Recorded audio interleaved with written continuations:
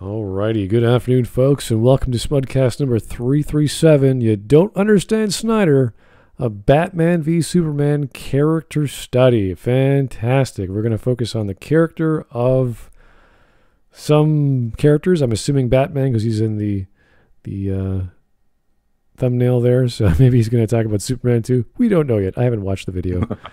But We, just, we don't understand. We just don't. We don't get the theme, Smud Boy. yeah, We don't get any of this stuff. We don't understand the genius of Zack Snyder. yeah. We need to know the the uh, character analysis of Lois of Lois Lane and and Martha and and Martha. Alfred and all these all these side character all these char- all the characters all the characters in Batman. I can't wait to learn something. I can't wait to. uh Yeah, because I obviously I don't understand. I'm always ready to to learn something new to understand, and obviously about to get a good lesson and the genius that, we, that none of us caught about Zack Snyder.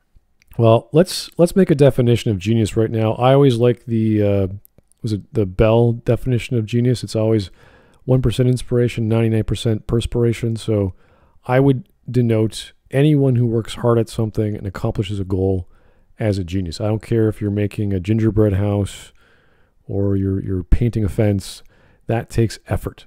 So Uh, even by that standard, Zack Snyder is not a genius. He I didn't don't know. accomplish his goal. He made a movie. I mean, I guess, I guess his only goal is to make a movie. I, I, I he, he did it. It is technically a film. there's a lot of CGI. Um, there's a lot of long-winded, long scenes that just I don't know why they were so big and slow. He should have just this did the Dark Knight. He shouldn't have just gotten inspiration from the Dark Knight. He should have he should have just done the Dark because Frank Miller's a genius. well, Frank Miller is a genius of, of, of writing and everything. It's really good. The Dark Knight Returns is I- really good. I seem to recall one of the cons when Zach was sort of pitching the idea. They got, I can't remember the guy. Was it the guy who played uh, the Martian Manhunter? I think in the original Smallville, and he said the line where Batman tells Superman that he beat him. Out of all the years you'll be living, know this: I'm the I'm the one man who beat you. And then he just collapses. That's the that's the Yeah. whole scene That's the end of it. and that that got everyone hyped because oh my god i know that line that's a very famous line and that was like you know four years or five years before the movie came out or whatever and we all thought oh he's going to do frank miller and then he didn't you're like oh he, sh- he should have, but he didn't because Zack Snyder is really he's he's at his best when he's copying someone else's work. He's he's at his best when he's doing some a story someone else wrote, whether Watchmen or 300 or something. That's when he's at his best. it sounds like he's a he's a guy who makes the uh, star trek reboots and the star wars reboots and you know he's he's got a flair for the dramatic it's like i can i can make a great looking film it's like yes you can you can't write for Oh, yeah. shit Uh, though I like the look of his films. His films look very good. oh yeah The writing, on the other hand, the writing on the other hand, yeah 300 different story. Uh, we all we all enjoyed the the the masterpiece of visual um, bombasticness that was 300. Uh, lots of great sets. Well, CGI sets, but they look good. A big empty field of nothing amidst slaughter. So uh, no, there was, 300 was good. I like I like fun. 300. It was a fun. 300 was yeah. also uh, it was also written by Frank Miller, and he copied that one directly, and it turned out great. Yeah, well, Frank Miller, uh, he's a unique, unique guy, and uh, he knows what he's doing. Uh, at Yeah, least while- he used to. I don't know what While doing. he could write, he could really write. Yeah. Then he went insane. I don't know what happened. To, I guess he lost his mojo. Something, something happened. Yeah, it's they- funny. I have no idea what happened to him. I don't know why writers in their later years get bad, but some of the writers I love never got bad. So uh, I will say the writing of certain authors I know slowed down, but they were still writing things that were of the same or comparable quality to what they wrote 10 years ago. So I don't know. Frank Miller's a, one of those crazy genius guys. You're like, whoa, I'm going crazy in my older years for some reason. Oh. I don't know why he's the. Uh, every once in a while, you get like one of these awesome guys who goes crazy and they can't write anymore. They they uh, just go downhill. I don't know why it happens, but Frank Miller has, seems to be one of them. I think unfortunately, I, I like to call it the George R. R. Martin um, effect. It's like he's we're not sure if he's lazy, if he's blind with with uh, with money. I don't like. He's just like, what do I do with my life? It's like you're a writer. You, you you wake up and you write, and then you go back to sleep, think about writing, and then you wake up again and do the same thing. Like it's that's it. That's your life. Do it, man. And he hasn't done it for like a decade, and we're just like, dude, just stop. Just don't stop writing. You, you obviously there's something wrong. Figure it out you know, go on a vacation again or whatever. Just retire for now. Yeah, just to have a, a preliminary retirement and say, oh, I hate sitting on my 12th beach. I'm going to come home now and ponder existence and write about it. That's all you got to do. Oh, and plus finish off those books you were said you were going to finish. That's a good idea too. So, yeah.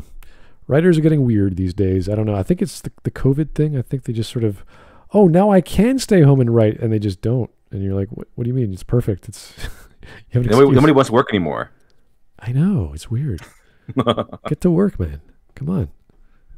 Yeah, it feels good for it's good for the mind and the body. Yeah, you could you could now don't have to sit in a coffee shop with your laptop if you if you ever did that. Now you could sit on a patio or whatever in your backyard and just do it that like whatever makes you comfortable. Go ahead.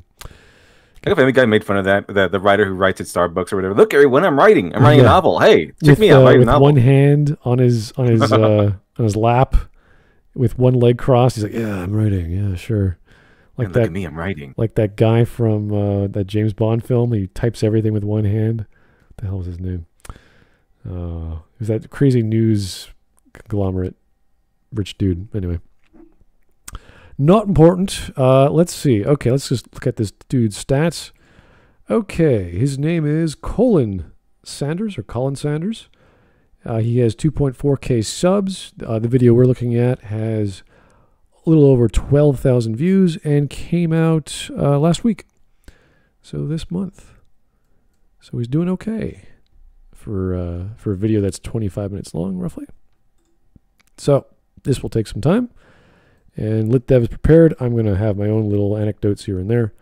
But uh, we should take under two hours unless we uh, pontificate. But hopefully we won't do that. That never happens. Yeah, no, no.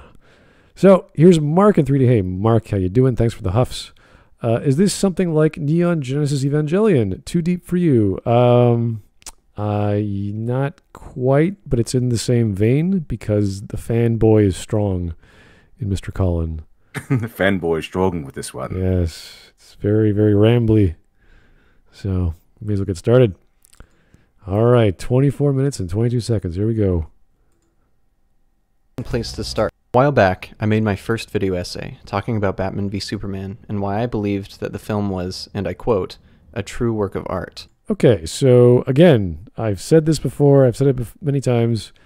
Anyone who uses these big words like true or honest or 100% or uh, love, um, these big generic broad brush strokes of words, we've already failed in semantics. We've already failed in argumentation. The true work of art. It's not. It can't just be art. It's got to be. Well, it can't just be a movie. It's got to be a work of art. Then it has to be a true work of art. You're like, okay, dude, can we stop exaggerating? like other movies. She's not like other. She's not like other girl sh- uh. She's, she's, it's not like other movies. It's not like other superhero movies. I know. I know. a real one. I said this last night about liking and disliking things. Whenever you exaggerate anything, you are changing your perception. You are altering what is actually there. And sometimes you do that because you're in love. You're like, I love my wife and she's amazing, even though she's not. but to you, she is because there's nothing else in your life quite like her. Yada, yada, yada. People are biased. That's what we're trying to say. So, what we try to do, at least what I try to do in criticism, is say, yes, I like this after I've gone through all the rigorous tests and mental fortitude and trials of saying, okay, why is this good? Why is The Princess Bride still watchable and likable? Why do the lines why are the lines so memorable? Why are the characters and acting and performances so good? What makes them good? So this takes a lot of effort, but if you're going to put a 25 minute video about the genius that is Mr. Snyder, you better bring your A game. If you can't even get the first sentence working, you got to go back to school, unfortunately. Anyway, Now, before I go on, I just want to say that before I made this video, I had around 100 or so subscribers, most of them, of course, being friends and family. I really did not believe that I was going to get okay, if you have a hundred friends and family, or uh, see, it's That's pretty good. 60, 66 friends, or 60, sorry, 67 most of the, because the minimum is 67. Minimum friends and family. You are, I mean, holy shit. Let's name them, okay, Colin? No, let's not. Personal guy, yeah. Jesus, how many how many kids do you own? Like, what did you what did you do? What did your family do? Just procreate a, country or something, or a small village in Africa? Uh, anyway, more than a few hundred views on it. But to my surprise, it really blew up. I just want to start off by saying that I am truly appreciative of those of you who took time to watch the video and hear me out. I do, however, understand that I could have communicated what I believed a little better. This whole video essay thing is still pretty new to me, so thank you for being patient enough to give me that grace. I really could not have asked for a better response from you guys, so thank you so, so much. What was Snyder's reasoning for erasing this is this is not him, I, s- or is it him? I have no idea. I think I think he's commenting on another person's video. Oh, this is someone else's video. Okay, good. Okay. Yeah, I think he's commenting on someone else's video. Batman's property? Well, Snyder's thought process when he made this decision, it looks a lot like this. You understand, Snyder? A Batman vs Superman character study. Okay. Why do you say that name? My audacity and yours, part one. What? My audacity. Before I spend the next half hour talking about fictional characters in a superhero movie, I want to address the title of this video. I hope that after reading it, some of you felt a little attacked, because it is absolutely natural to be insulted after being told that you don't understand. He's understand. gonna show us the light something. smut. You, the average DC fan who has Yep, seen all that's the what we look movies, read the I- I'm not a DC fan, but okay. That's a what's what every DC fan looks like, I assume. yeah. During the pandemic, we just shave the sides of our head and just yeah, whatever. Whatever's on the top, we don't care. comics and have passively engaged in the Batman and Superman media that is presented to you. You believe that you harbor some understanding of the characters, so you believe that your position on Snyder's iteration of them must therefore be the right one. Thus, you are aggravated when someone tells you that you don't, in fact, understand it. Okay, so he's trying to make an argument from lore, which is a fair attempt. That's what we do when we talk about knowledge of a topic or knowledge of stories. You say, okay, before all that stuff that we can talk about craft and narrative, let's say, okay, what can we just explain everything away with lore? I And mean, he could tec- technically bring in examples where Batman this directly kills people. Uh, he did that in the, in the beginning. I know that for a fact. Right. A little bit. Like he'll swing in, he'll break some guy's neck on purpose, and then he'll, he'll move along. But uh, this like Superman, the he has been around for a long, long, very long time, and he has, of course, evolved over time. And of course, when you have a new character, new story, they do tend to evolve. They haven't gotten their bearings just yet. So, and of course, this at that time when they when Batman and Superman were created, the superhero genre wasn't entirely defined. It was brand new. It was kind of evolving out of the pulp genre at that moment. And he had Superman, and then, in fact, uh, Batman came after Superman, and he was supposed to be the darker version of the guy. He's supposed to be like a. They they came, they got Superman, and they I forgot who they who they went to. The creator of Batman. They went to him, and he was a little. He's like a. He was a young guy back then. He was like maybe a teenager, maybe early twenties back then. And they said, okay, we need you to make another character that's going to be on par with Superman. And they went the opposite, where Superman's like this gigantic god of a being. They went with Batman, who's just a normal, regular guy. And one of the guys they kind of based Batman off of was the Shadow. And they wanted to keep that kind of violent streak to the character. And so, yeah, he Batman killed a little bit. He, he didn't kill in his first outing, by the way. He killed. He, he didn't kill uh, until maybe the second or third, when he killed like this big, gigantic Chinese henchman, and then he swung in and broke his neck. Uh, so that's kind of where it goes. But ever since then, uh, he's evolved, and the ethos of Batman has become a guy who does not use guns and has the no kill rule. And we've seen this time and time again. It's not only something that just so happens to be in a comic book or just happens to be in a movie. It's something that they've made stories out of because that's what it's become understood. That's what Batman has, has eventually evolved into a guy who doesn't kill and a guy who does not use guns because, of course, it would he want he doesn't want to use the same tool that was used to kill his parents. He doesn't like it. It's it's traumatic for him. So and the, you get all of these stories like the like the Red Hood versus Batman. That's done. That was there because the Red Hood was angry at Batman for not killing the Joker for his sake. Like he said, "Why didn't you? This the Joker killed me, Batman. Why didn't you kill the Joker? I could I could I thought at, at any point in time that you would have killed the Joker once he did that to me." So there's all kinds of stories evolving from the character that that, that Batman has become. So No, it's not the the real Batman. Is not the Batman that kills. A real Batman, not the one we just been ignoring the whole time. And the real Batman is the one that has you know the consolidated Batman, the one that we kind of understand as Batman, the guy who doesn't kill, the guy who doesn't use guns, the guy who fights bad guys violently, sure, but kind of trying to stays away from going the lethal route because it's been explained that if he does so, he won't be any better than anyone else. He'll be judge, jury, and executioner. He'll be the, uh, and he might not be able to stop himself after that. Might, if it feels you do it once, then suddenly there's no going back. In certain so, cases, yeah, I would say the author can do whatever they like when they create a new iteration with new characters and a new setting.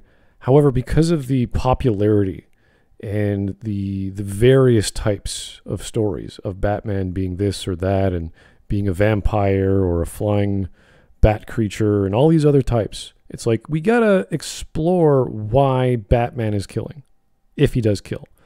And we never really go that far. We never get to see that with Zack Snyder's Batman. He's just right. a we grumpy did... older Batman. You're just like, so you just kill people now? this kills people now.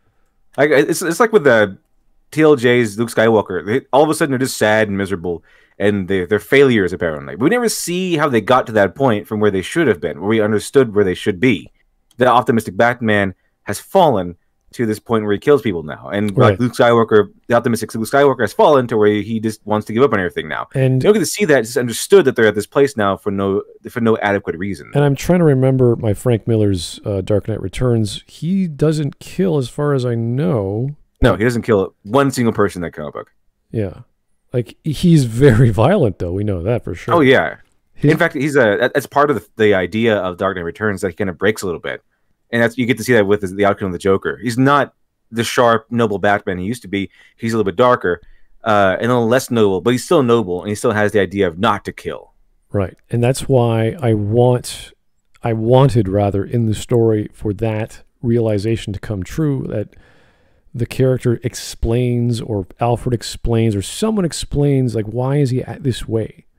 Because we have to me the best rendition of his parents' death in Batman v Superman. It's so beautiful and touching. You're like that that goes, "Oh my god, that's this is so dramatic. This should be the the impetus for everything Batman does."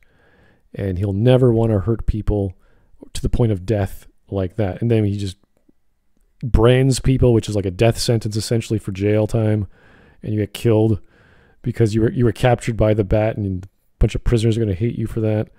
So all this stuff is is happening in the world, whether he directly kills them or or indirectly. It's like, oh, geez, this is this is a horrible place to live. And how is how is murder making it? Ba- how is Batman any better than a than a, a thug murdering people? It's it's strange. So we need we needed that addressed and we never got it. That's that's the only major problem I would say. If you want Batman to kill, just explain why. And uh, exactly. Uh, and, and, how yeah, we, we, got we, there. Because we can't get hints as to why. Because we got to see like, oh, Robin died. yeah, like, how many because, people say that way, Alfred? No, yeah, that would be that would be a start. Like we just saw the the outfit and the the the, the spray paint. We're like, oh, okay, was that the reason? We just we just look at it. It's like, can you tell us something about that?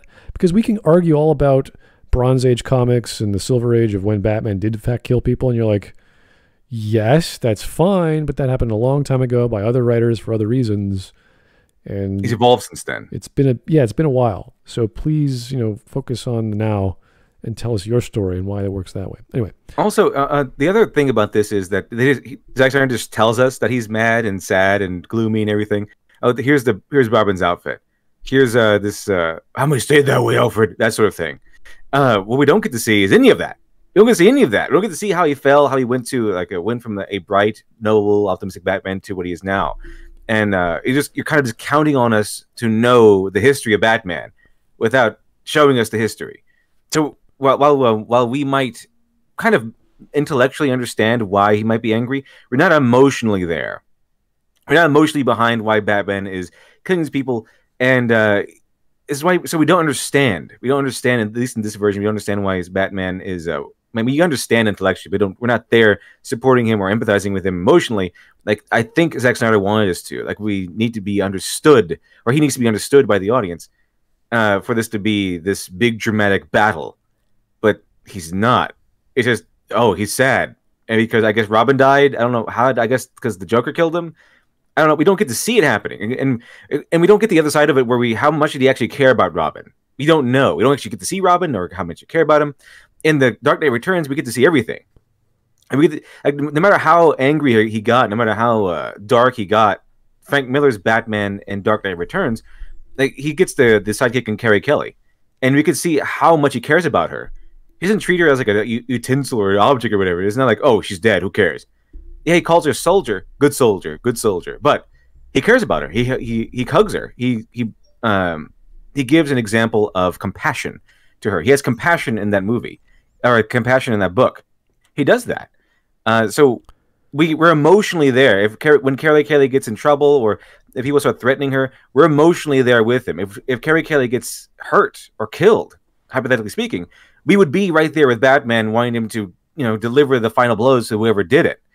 And uh, we're right there with Batman and Superman, both on an emotional level, in the at the end because we see it's not like just Superman just comes out of nowhere and fights him. It, we get to see what Superman has to deal with every day. We get to see little snippets of him uh, interjecting himself in global politics and things. And then on the, on the other hand, we of course is the Batman's journey, so we get to see his journey as well, and we get to see both of their journeys. We get to see both of their perspectives and both of their philosophies, and then they fight. It's not just I think it'd be cool if you fight. Go go fight him because man versus God or something. Okay, and that's it. That's that's it's really really shallow, shallow in Batman vs Superman. Like really really shallow.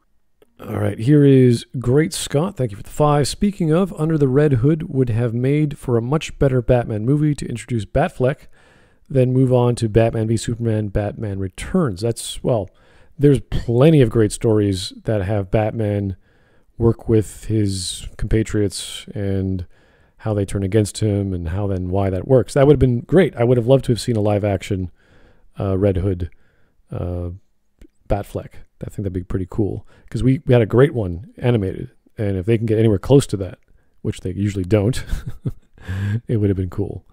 So usually about fifty percent of the greatness of the comic book, at least, or at, at, most, maybe. I like the attempt. I really would like to have seen that. That would have been a, a fantastic series of maybe not like we saw like Bad Blood and all these other more obscure stories where it's like there's too many characters and you got Batwoman and. Or, Killing Joke was ah, it was okay. It's watchable, I guess. But then he had to add in the Batgirl stuff, and people say, "Oh, it needs to be longer." No, it doesn't need to be longer. The story didn't need to be longer in the comic book. Just, just make it. Just make the story. Yeah. Just give us the story. It's fine. I think the animated version was pretty freaking decent. So that was great. All right, let's keep going. Good. Now imagine growing up loving comics, loving Batman and Superman movies and TV shows, adoring the characters, and relating to them in a way that you feel is personal. Then imagine being told to write and direct a film about them. You put your blood, sweat, and tears into adapting these characters, who you've known all your life, into a film that you've put your heart, soul, mind, and body into. You speak to the Christopher Nolan, the genius behind The Dark Knight, about your ideas of what to do with the characters and the film, who ultimately approves it and encourages you to do it the way you want to. Then imagine releasing it and being told how stupid and idiotic you are for failing to understand basic fundamentals of those characters. Zack Snyder does not understand Batman or Superman has become arguably the most common response from critics to Snyder's iteration of these characters. In my last video, I did not spend as much time talking about the characters as I probably should have. My goal in this video is to convince at least some of you that these are well written characters, and that Snyder, while he- Okay, so he didn't address the actual criticism as to why people think this way, and we sort of alluded to it, saying that because Batman is such a well known character, one of the most famous characters in storytelling, really, in today's age at least, there's so much of a mystique and an image everyone has in their minds already. There's comic books, obviously, there's the anim- various animated series, we have multiple movies, multiple video games, all kinds of genres. And it's like, okay, Batman doesn't kill, Batman has a bunch of friends, he helps them out, he's kind of moody, he's always beating himself up over the death of his parents, and he's obsessed with protecting Gotham. Like that's sort of the given. Right. There's a few other details like he has a Batmobile and this and that and technology, but it comes down to that is his moral compass. So what you have to do once you take a super popular character in the in the what's the word the the not the gestalt the cultural milieu of of knowledge and say okay I'm going to try my. It's like Sherlock Holmes. I'm going to take my attempt at writing Sherlock. I'm going to give him uh, guns, but he doesn't kill people, even though he might have to. He's going to be really good. Right. At, yeah, like, like do something, do a spin on Sherlock Holmes, but you still got to explain if he's different, how, especially about one of his core beliefs. You got to tell us how he got there. And it doesn't. We don't have to like that, but you still have to make it have it make sense within the story. And once you do that, you're free to do what you like. It's the same with science fiction. You write up a, a, a weapon or a technology. It's like, okay, now we understand why we have people that can throw people across, across the room like the Force, or or in Mass Effect with with biotics. Yeah, but if you get like a Sherlock Holmes who's like really over sexualized and everything, where he just goes after all these women, and he's he's always worried about Right. you know the, getting laid the next day or whatever. That's not Sherlock Holmes.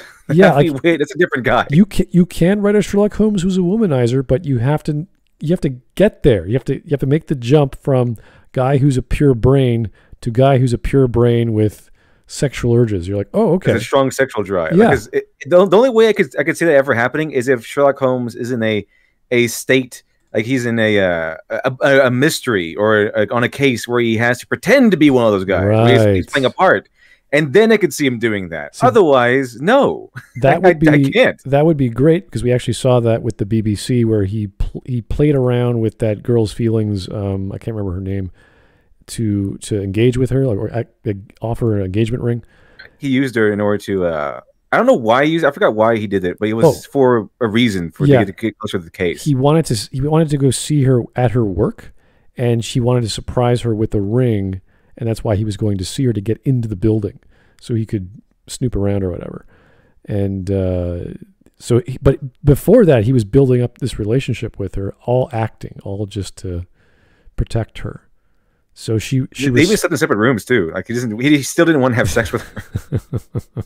but see, that's a great way of setting stuff up because he's a genius. He's a brain, and he'll act things out so that he can do the the ultimate goal, which is to protect someone. And Exactly. you can do that with Super. G- You can do that with all kinds of characters, and yet still do your own thing. So it's great stuff. anyway, Jake the Surgeon. Hey, Jake, how you doing? Uh, Superman is big sad man Zook Snooder. Pretty much. Oh, Superman is sad in this one, and he's sad, and he's just, he's all miserable and frowny, and he hates America probably. I don't know. America bad because Everyone just hates America. because I came from America and I love my mom and dad who are American, and they taught me to question everything. You're like, okay, kill or save kids? I don't, I don't know. Hard question. All right. May not be the best filmmaker of all time, is actually a pretty good one. My hope for you is not that you grow to love this movie or these characters the same way I do, because at the end of the day, we're all going to have differing personal preferences. Instead, I hope that I Okay, so he said filmmaker, not writer, and I would argue, yeah, he's he's a fine filmmaker. I don't really care about that. I do like I do like the style of his movies. It's very distinct. He has his, for for all of this credit. You know, give credit where credit is due. Zack Snyder does have his voice in terms of filmmaking. Yeah. he just can't make a good story that well. It's the same argument with J.J. Abrams. Uh, he has a he has a flair for the dramatic. He knows how to cut shots and spin around and do all kinds of spin around? all kinds of camera angles. Yeah, he's fantastic looking stuff. But writing, Zack Snyder is better than J.J. Abrams. I put him a category higher than yeah, in terms of filmmaking. In terms of filmmaking, yeah. not story writing. Filmmaking. we don't we don't want to consider them for for for writing. Period. Okay, we just like just don't get them near a pad and pencil. Just don't even think about it. can communicate an idea in a way that will make you at least see it from a different light, and hopefully appreciate it for what it is. What is okay, it? convince me. Seduce me with your wares. Scarecrows? Hunting down scarecrows. Does he mean This Strawman? topic, regarding Snyder's characters, is far from outdated. This video by The Closer Look just came out two days ago as I began to write this, which is actually what made me want to do this essay before I did anything about Snyder's Zack Batman Snyder's sucks. Justice He's right about that though. In the video, they talk about how Batman's integrity seems compromised in BVS. and they propose okay. that, well, here, I'll just let you watch it. What was Snyder? Seems no, it is compromised. It's the whole idea that Zack Snyder want to put off that uh, his his his integrity is compromised You see, horribly. if if Batman wanted to kill people, he would just use guns. See, he, Yeah, he could. he- He's a he's a, he's he's a guy who trained for like every mass across the world. If he wanted to kill people, there'd be this bodies laid in the streets. He'd be better than the Punisher at this stuff. Yeah, he'd be a ninja with like stealth bullets, so he would, no one could see him Pretty coming. much. But In fact, he instead, uses, he uses bullets in uh, Dark Knight Returns, but they're rubber. yeah, but instead he gets to the nitty gritty and like gets his arm cut up and bloody and beat it up, and it's like, dude, if you're gonna kill guys, just frickin' be efficient about it. why why go through all this rigmarole? It's weird.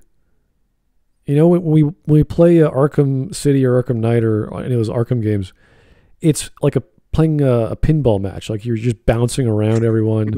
Batman's an acrobat. It's really cool. Obviously, It he's really cool. he's really buff and big. He's like, okay, that's a different kind of Batman. That's Batman. And that's Batman. That's uh, they did a pretty good job, in at least the first one. Yeah. So that felt kind of like what Zach was doing in a, in a realistic setting. But you can go dark with Batman. Dark darkness where Batman goes dark, yeah, you could definitely he's like here to do it with. Uh, but usually it's because the villains make it is the villains take it there. Where the villains go dark. The villains have do have uh, more extreme plans. right. It's not because Batman suddenly starts killing people. It's usually because villains start to become. That's what happens in Dark Knight Returns, by the way. That Batman is even he's retired, but the darkness comes from how dark Gotham has got in terms of its criminal activity. Where you have like a, a nuns being slaughtered and children being killed and kidnapped and people being raped on a nightly basis. Uh, it, they, all that is input in the in Gotham, and then that's what forces Bruce Wayne to come out of retirement and become the Batman again. Okay. So let's see. Here. So this is someone else's video. Just that this is the the reason why he's doing what he's doing. I think this is a closer look. Right. Oh wait. Here's Jake the Surgeon again. My cat has better taste than this guy, and she licks her butt. Oh. Thank, I believe it. Thank you, Jake. Snyder's reasoning erasing Batman's integrity. Well, Snyder's thought process when he made this decision, it looked a lot like this. You know, I like movies with a dark, grim tone. I should make my superhero movies with a dark, grim tone. That's it, yeah. And what could be more grim than killing people? Therefore, all of my superheroes need to be killers. Oh my I know he's saying this as a joke, but I'm I wouldn't be surprised actually this is actually Zack Snyder's thought process. I like grim stories, and I should make them kill people. That's pretty grim. As- As far as I think that Zack Snyder thought about these movies, Th- this is kind of weird because it, it, the results end up being true, but we look at the the genres where things are dark and there's grim dark, there's noir, there's uh, various kinds of political intrigue where it's not the focus, but the end result is killing after lots of rigmarole and, and subterfuge. So if he was going to do a really smart, intelligent Batman that kills, he could have gone that route. He could have gone dark and gritty and mysterious. Instead, he went explosives, explosions, action, uh, things being torn apart, and blood and guts. You're like, okay, dude. I, I don't think that's Batman. I, I've never seen that, even in the comics where he does kill people, where he leaves them to die. It's just sort of like, okay, the fight's over. It was exhausting. I'm, I hate this. I'm leaving, because even Batman has limits. so there's there's Oh, lots of scenes. I think he does kill Thanos, well, or not Thanos. He kills uh, the hell's the other guy? Uh, Darkseid. Darkseid? Dark Side, yeah. I, I think he kills him with, a, with some kind of magical bullet or some bullshit.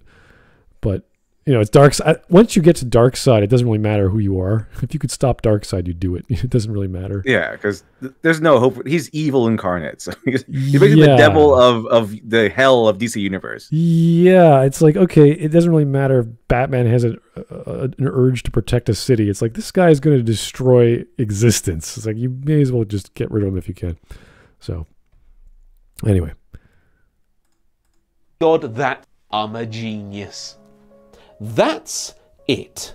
Why would you bother to make these parody and insanely idiotic and insulting arguments about the film? oh my god, why are you making a joke and dumb and doing a dumb job at it? It's a joke. It's supposed to be dumb. What are you talking about? And, and it's funny because it we could feel as if you, it's true.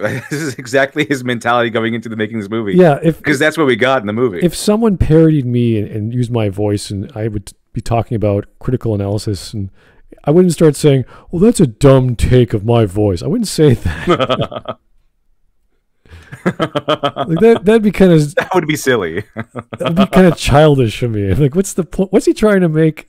What is he trying to say? He's making a joke about Zach and his potential mental process. That's all he's doing. Don't take it personal, okay? themselves. Have your own opinions. Absolutely nothing wrong with that. But coming up with these horribly constructed straw man arguments, It's not a straw man. He's making a joke. I don't think that was even an argument. That was just kind of uh, his opinion expressed via joke. That's kind of all it was. See, this is the problem we have with a lot of YouTubers. They they don't know the meaning of words, or they have their own definition of words, and they use them expecting this is an argument or a, a point of reference to to make sense of. You're just like, dude, are you Wish in, I had some whiskey. yeah, are you in like grade nine? Like, what what did you just enter like high school? Like, what happened? Did you ever write an essay? Did someone ever correct your grammar and logic? Well, actually, yes, provable. The people actually did correct his, his, his first essay. It was on, E- but it was on EFAP. Oh. That's why. Uh, yeah, that's, that's probably why. yeah. for no other to humiliate and belittle the person who you think is wrong, is ridiculous and infantile. I mean, it's not the best thing to do at all times, but it's something that's uh, valid if you, because that's what it seems like he's doing. It's not like he's he's taking completely out of nowhere. This this take is coming completely out of nowhere, like some people do. This is actually something you would get. It's actually something you would you would see Yeah. So uh, in the movie. It's just it's if you watch the movie and you know who Batman is, and you you have a you're a fan of Batman, and then you see Zack Snyder's Batman, that's something you can kind of see being the uh, a joking conclusion of what, what Zack Snyder was going with Yeah. in the thinking process. So, guys, next time someone you like, uh, you hear someone make a joke about him, you don't call him ridiculous and infantile unless it is in fact ridiculous and infantile, like a he's acting out a, re- a retarded response to, like he's playing a caricature or something. Like that would be that would be goofy, like a like a comedian would do. Oh yeah, This is just a dude giving his opinion of what how Zach got from A to B. and he's, it's funny because he's it's it seems to be correct. Uh, I can see that being the actual case. That's why it's so hilarious. What's what's But the most also yeah? What's the most Uh, grim dark comic? I could, Frank Miller. Oh, let's read Frank, Frank Miller. Miller. Let's read his Batman. Yeah, great. I'll do that. Thank, thanks, Zach. Okay. and then I'll just I was I gotta make it dark and gritty. How do I do that? I make him Batman kill people because uh, that's to- totally what he does in the Dark Knight Returns. No, it's it's it's actually not. I want him to explain the the mental process of Batman deciding not to kill Superman. I want that.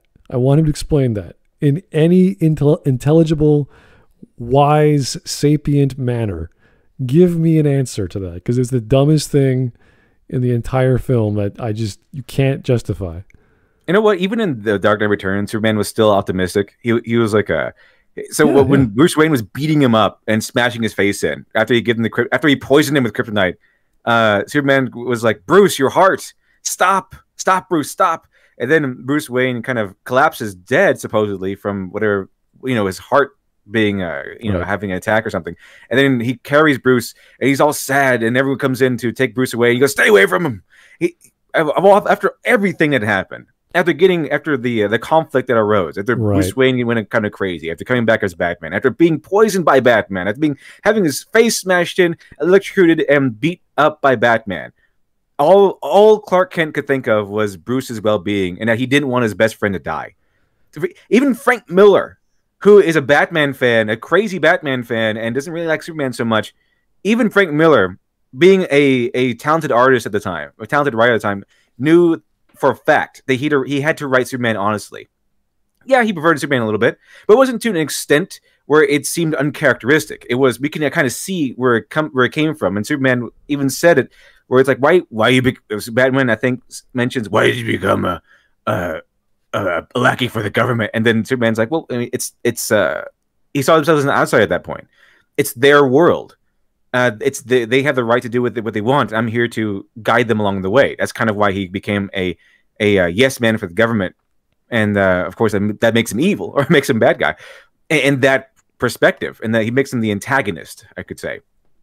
But uh, Superman was still written as Superman. He was still written by Frank Miller as Superman, the guy who cares for everyone else, the guy who shrugs off blows against himself and cares and puts other people before himself at all times.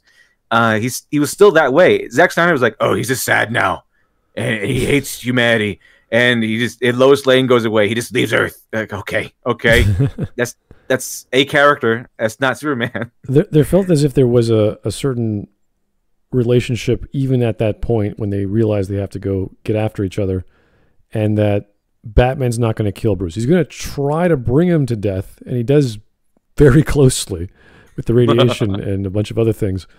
But he knows that he, he's he's not going to go all the way. I, I get that right. feeling, and Batman knows that too. So he's just going through the motions, and even then, Bat uh, Superman's like your heart, your heart, and that's when that's the whole plan is is to get him to believe that it's if it's believable to Superman, it's believable to everyone that Oh yeah. that Batman's dead. So, And- And that's why the Dark Knight Returns is so good. It's so good. It's not, it's not black and white. It's more complex than that. And Frank Miller, being again the uh, talented writer at the time, uh, who knew how to write things, wrote Superman mostly honestly. I mean, it's we could see why Superman would take the, the stance that he does. And when it go, comes down to Zack Snyder's Batman versus Superman, uh, people we mock the idea of Martha. Why do you say that name? And then they become best friends. The reason why that's so funny is not just because they have their mom have the same name because we could see why you know Zack Snyder wrote wrote that in there. And what makes it funny is the circumstance. It, they don't they don't come to terms or make peace over agreeing philosophies or coming to understand one another or anything like that. It, they just come to terms because their moms have the same name. That's that's it. So it's not like uh, they they before were you know in the in the usual continuity Right. where Superman and Batman have differing opinions on things, different uh, philosophies on crime fighting, but they're united on the idea of justice. Where at the end of the day, even though they have conflicting ideals, they can agree that bad guys must be stopped, and they be, they're actually best friends, more or less. Uh, so it's when Batman and Superman are fighting each other, and then Superman's like, "Save Martha," then Batman's like, "Hey, why'd you say that name?" Uh, it's hilarious because that the entire the, the entire welding material used to quell their movie long conflict, their rivalry, is the fact that the mom has the same the same first name. That's that's it. That's the entirety of why they stopped fighting. instead instead of uh, them uh, having a what they instead of having an anime thing where they they kind of talk and philosophize as they fight. And Well- no, they don't, they don't, Zack Snyder doesn't do that. There's a good opportunity where you can have S- Superman fight Batman, and then Superman have give his philosophy, and then Su- Batman use the kryptonite stuff, and then uh, when he's being a Superman, he gives his philosophy. He does a little bit, but it's not meaningful. Um, so it doesn't boil down to they we understand each other now. It boils down to oh, your mom has the same first name. That's what makes it hilarious. Yeah, the reason Bat uh, Batman wants to fight Superman is because he's a threat. He considers him a threat, and the reason why Superman fights Batman is because he can't talk to him. Yeah, exactly. You can't explain things. He's so dumb and angry or whatever. he can't talk to the guy who's just a man in an armored suit. Like, why would you be scared of that? To the point where he's he debil- he gets debilitated, where he just screams out his mother's maiden or first name. You're just like, what? Wh- Why could he say that like ten minutes ago? what was stopping him? It's all this bullshit in this film. It's hard to hard to stomach. Anyway, uh, Jake the surgeon, thank you again for the five. We need to bottle water, a label Snyder Taint Sweat, and sell it to Snyder br- Oh, no. bots. We'll make a fortune. You probably would. I mean, if it's le- if it's legitimate, oh a certificate of authenticity. Yeah. why did that sound like uh, Steven Seagal's lightning in a bottle? Energy drink. Oh yeah, I forgot he did have that. He did. yeah, that- what was it? An energy drink or something? Yeah. Didn't last too long. Oh, that's Uh, fantastic. Also, I guess we're just going to ignore the fact that in The Dark Knight Returns, which is the Batman that Snyder's Batman is based on, Frank Miller. I like how he he showed the uh the whole oh Batman kills the movie. Yeah, because you know the bat the movie version of Batman It's going to be the definitive version of a comic book character. Uh, also, this uh, Colin Sanders guy kind of takes me as one of those guys who uh one of those like TLJ defender types. Who are like, oh, you're talking about it, therefore I was good. It doesn't matter if you're talking negative about it, as long as you're talking about it. As long as people still talk about it, it's it, that means it was a good piece of art. So he didn't take the EFAP thing as you know a, a symbol that his piece was bad. It was more like, oh, good, people are talking about it. That means it was good. Yeah, it It doesn't matter. like to me. it doesn't matter what we say. It doesn't matter how hard we criticize. It doesn't matter how many comments we we put. Just putting their arguments to, to rest. It's like, nope, gonna keep saying the same shit. You're like, okay. Happens on a weekly basis here on this podcast, guys. So don't worry about it. Reference, you know, he kills all the time, right? The Dark Knight Returns, the, the book where Batman takes the gun, breaks it over his leg, and Yes, that one. The weapons of cowards. And is also the movie that this guy puts behind him while he says all this. Batman shoots a man dead, plain as day. Nope, In sure this little doesn't. scene that was also in BVS, Batman shoots with a gun a criminal who took a hostage. He's not Even dead. Snyder's Batman didn't do that. Yeah, Snyder's Batman didn't shoot a ho- shoot a guy with who was holding a hostage. He was shooting a guy who was standing behind Superman's mother, and then shot his backpack full of explosion juice, and then barely got out alive. Much better. also, uh, I read that comic book. That that scene it is not definitive that he shoots the guy. There's no bullet holes, nothing. It just seems like the guy is surprised, maybe, and just, maybe he maybe he shot the guy in a non-lethal way. Because later on, uh, there's a part where he kills, where he uh, loses his control, and he snaps the Joker's neck. He doesn't kill the Joker. He snaps the Joker's neck, and the Joker says, "Uh, "I'm so disappointed that you couldn't finish the job," and the Joker kills himself. And after that, there's a news broadcast where the news people say, "Okay, now that the Joker's dead, we found the Joker dead. We assume that the Batman killed him." So now the charge of murder has been added to the long list of crimes that we're going after the Batman for. Now he's known for murder. So uh, they knew that Batman took down all those guys, and they, they knew that because the Batman was going around ki- taking down cri- criminals at that point. So if that, if Batman had killed that guy at that point, then uh, they would have added on murder already. It would have said something like uh, I don't know another murder on Batman's on Batman's list of of, of uh, crimes, but they didn't. Only after they think he killed the Joker did they add the, the charge of murder, the uh, the crime of murder on his rap sheet. So no, he didn't kill that guy. Not, not according to the writing. Canonically, he didn't, and we didn't see him die. We didn't see him kill that guy. We just saw him shoot the gun, and the guy drops the kid. I'm trying to go through the the, the Google search of uh, list of actual deaths that that Batman has caused throughout the years or the decades rather, and that one didn't pop up yet. Let me just see if I can find that. Anyway, we keep going. It is also heavily implied that Batman kills the Joker in this graphic novel. See, there it is, and he and he gets up on his high horse about, oh, you didn't read the graphic novel. There's so much nuance there, and then he gets this wrong. It's not heavily implied anything. Batman snaps the Joker's neck, and then it tells you that the Joker kills himself to finish it off the job. He even says so there that you couldn't, you didn't have the nerve. He was disappointed that he didn't have the nerve to finish him off. Uh, the, the reason why this this scene is so powerful in the according to the, the narrative here is because at this is the point where Joker kind of wins a little bit and gets Batman to lose control. He says that like I, I did it, I made you lose control, and so Batman doesn't kill him, but he snaps Joker's neck, which is extreme for Batman's tactics. Even even for this Batman, the guy who uses rubber bullets to knock everyone out, so they they don't they don't, they don't die. Uh, so that's that's that's a point. This, this the section, by the way, of the novel is called "The Dark Knight Falls." because this is where he starts losing control. He starts um, getting more extreme. He starts getting wounded, and he's getting hounded by the police. It, it's like the lowest point at his low point. So he's he loses control. He does not kill the Joker though, and there's no implications or anything. It he, it's the story revolves is centered around him not actually killing the Joker, but getting to the point where he almost crossed that line. That's the important part. And then the Joker's like, nah, nah, nah, I can't believe you, you didn't have the nerve to do it. And he kills himself just so that uh, the police will go after him and think that the uh, that Batman killed him. I just did a search, uh, CBR.com. There's an uh, article about that, and they actually reference The Dark Knight Falls. We see that the police now add murder to the charges against Batman once they find the Joker's body. Batman doesn't kill Right. anyone in the remainder of the issue. So, yes, as Dan suggested when he wrote to me, Batman doesn't actually kill anyone in The Dark Knight Returns. Not So- one single person. Not one single person.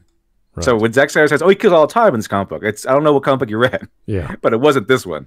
So this is um th- okay, so he got the facts wrong and this is where we get the bias of belief meaning uh not not sub- subjugation bias there's a predisposition bias maybe where you think a thing and you don't bother to research it hard enough. You just find enough information to support your claim. So someone said it, Right. therefore it's okay. So someone someone else said it's okay, uh, as opposed to actually going to the primary source and uh, you know like here here's the actual picture. Did where did he kill the, the Joker? Where does it happen? Nowhere. He Yeah. snaps Joker's neck, but doesn't that the snapping of the neck does not kill him. It kind of paralyzes him, of course, but doesn't kill him. Yeah. The Joker kills himself. That happened in uh, a few episodes of uh, of Batman, where in the comic books, where he snaps uh, KGB. What's his name? One of those those guys. He does it twice actually throughout the comics, where he snaps the guy's neck. He's still alive, but he doesn't provide aid. He doesn't call anyone. He just leaves him there to die. but but it's not it's not it's not shown whether he survives or not. So KG Beast, there it is. So uh, it happens twice. Anyway, as well. Problem with this video is that it sets up a ridiculously easy argument to knock down. They establish a few things.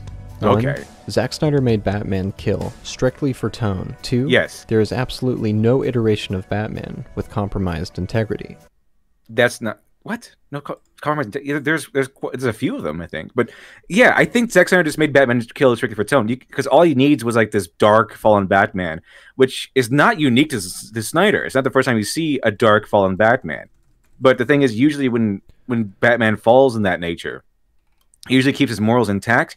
Is just when we talk about falling, he kind of becomes he falls to his flaw, which is that he becomes so obsessed because uh, I think Batman's flaw is obsession. He becomes so obsessed with fighting a crime or taking taking down a particular criminal that he pushes everyone out, he pushes everyone away. He pushes Alfred away. He could push out uh, his his allies away.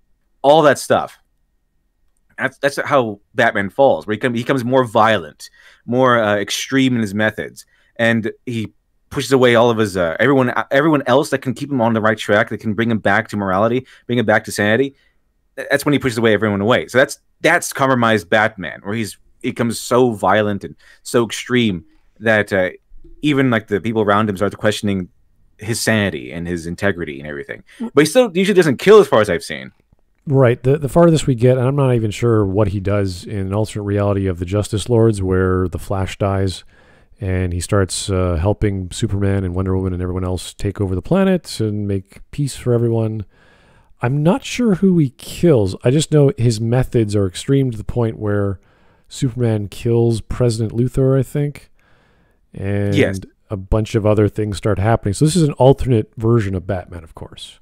Right, right. So I think you might get that version of Batman also in Kingdom Come. I can't remember, but I know he becomes like a fascist sort of guy almost, where he has all these bots going around. he is he- yeah he he can't go out into the field anymore so he has to use his robots but i don't think he kills anyone i'd have to check that out i really don't, I don't he- think so. I don't remember him killing anybody.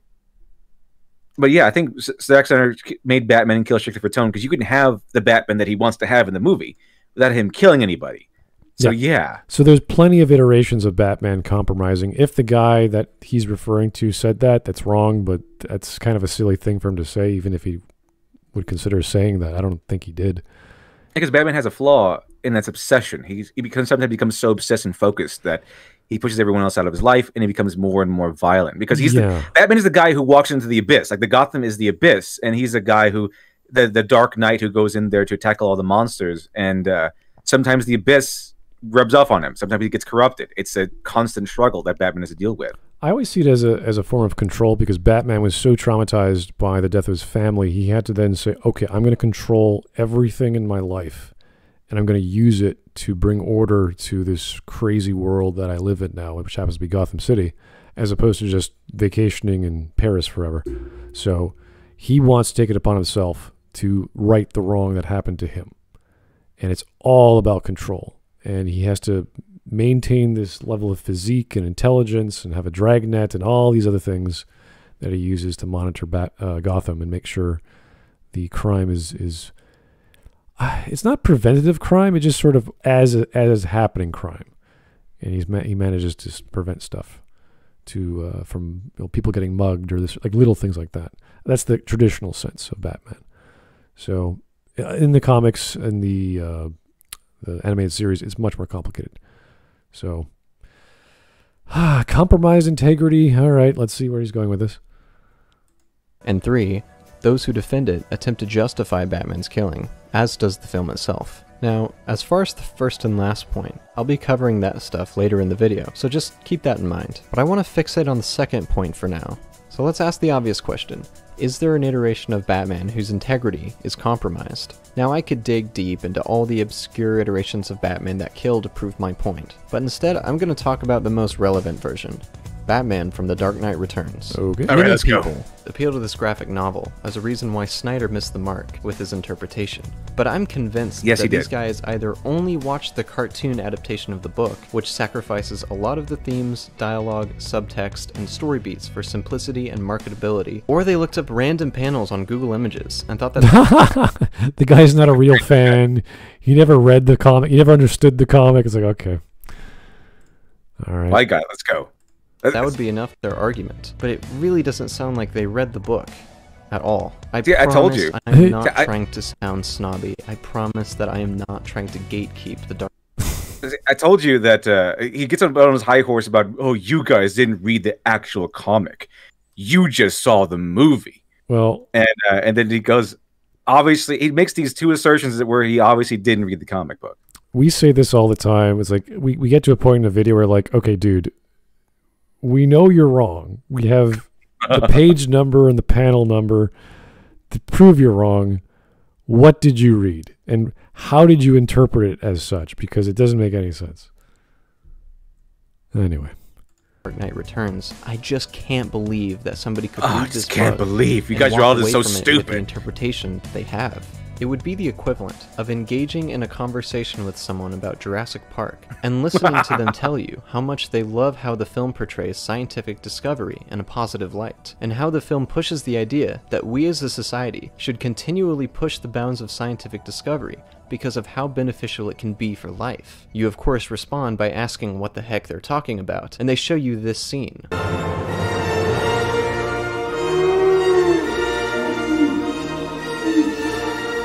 Sure. Okay, so the argument here scene is in that he's he's choosing that we're choosing and picking and choosing, we're cherry picking the scenes so that oh, you're Zack Snyder was wrong about Yeah. Batman.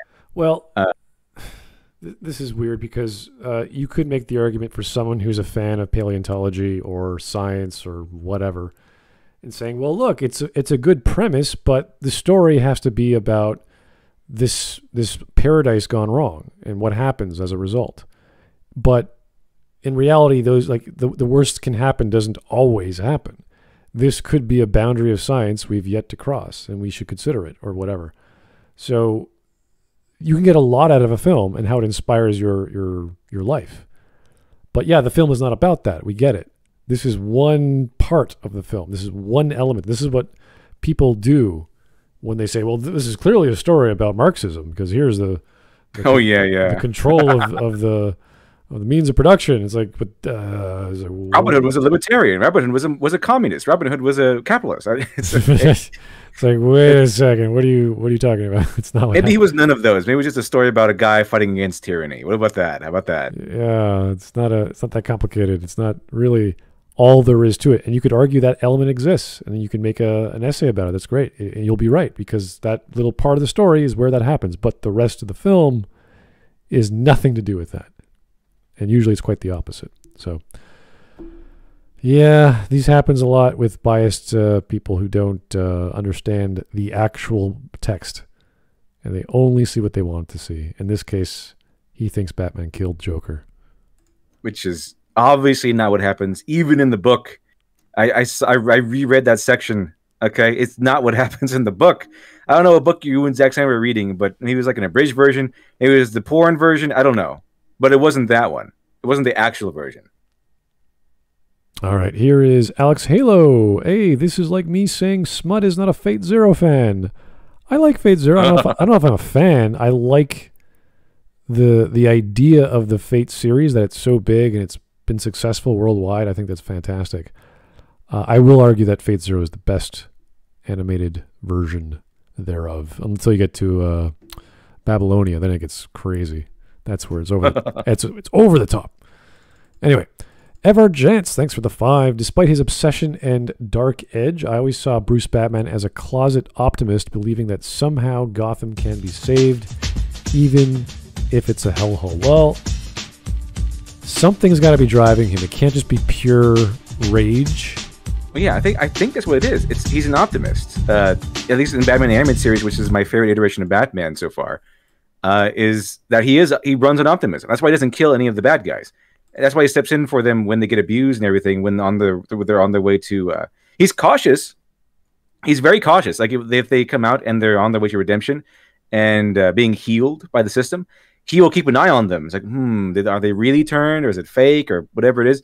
obviously it's always like fake or something. He's always right about it because they're awesome bad guys. You can't lose them as villains. But thing is, he's he's always there. That optimism is always there. It's always present. That maybe one day they can get better. That's that's even what's driving him with uh, in the Killing Joke, the, arguably one of the darkest, the most legendary dark stories of the Batman mythos. The Killing Joke. He he uh, he figures out the, that Joker has escaped because he goes to the asylum to talk with Joker to try to end the whole feud that they have to with each other. Like I need to need to know. Uh, yeah, it's probably going to end with us killing each other. But I just if that happens, I just want to know that I made every effort to settle this. He doesn't want to kill the Joker. He doesn't want the Joker to die or anything like that. Not necessarily. Well, he wants the the fighting to stop. He wants it to end. That's what. That's how the killing joke begins, and then you know the rest of the philosophical discussion and, and the exploration continues after that. But that's how it begins that's how it begins. He wants Batman, even in the most darkest of stories. Uh, but Alan Moore even wants wants to end the feud with the Joker. He he has that he drives on optimism. He runs on optimism. He, he has to. All right, here is Tyler Preston for a dollar donation. Thank you, sir. The only time I can think of when main universe Batman ever uses a gun to kill was for Dark Darkseid. It was during the event Final Crisis, and he used a special bullet that can kill a new god. Yes, I mentioned that uh, half an hour ago or so. I can't remember, but yeah, there are there are many other iterations of of Batman killing or using a gun or snapping a neck and and either actively like dropping someone into acid or hanging them or whatever. So, but we're talking about Bronze Age mostly, and there's a few Silver Age. So, and some of them are Elseworlds. Some of them are like uh, All Star. It Batman. crazy or something. Yeah, like things are over the top, and it's just like a, a whole different universe. But yeah, that's we're talking about main universe Batman in that regard. Okay. Jurassic Park dinosaurs as a positive thing, but when one watches the rest of the movie.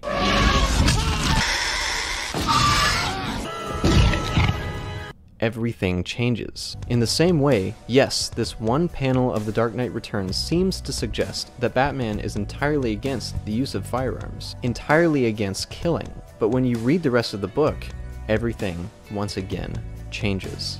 One of the most interesting and essential aspects. I, I don't. We... Okay, that's that's one point I wanted to bring in. Yeah, is that uh, that oh, if you read the rest of the book, obviously it's full of like death and everything. That guy was just cherry picking, but he just kills to the same example, one example over and over again. It's oh, anyway. about the Dark Turns is the challenge that Frank Miller poses to the legend of the Batman.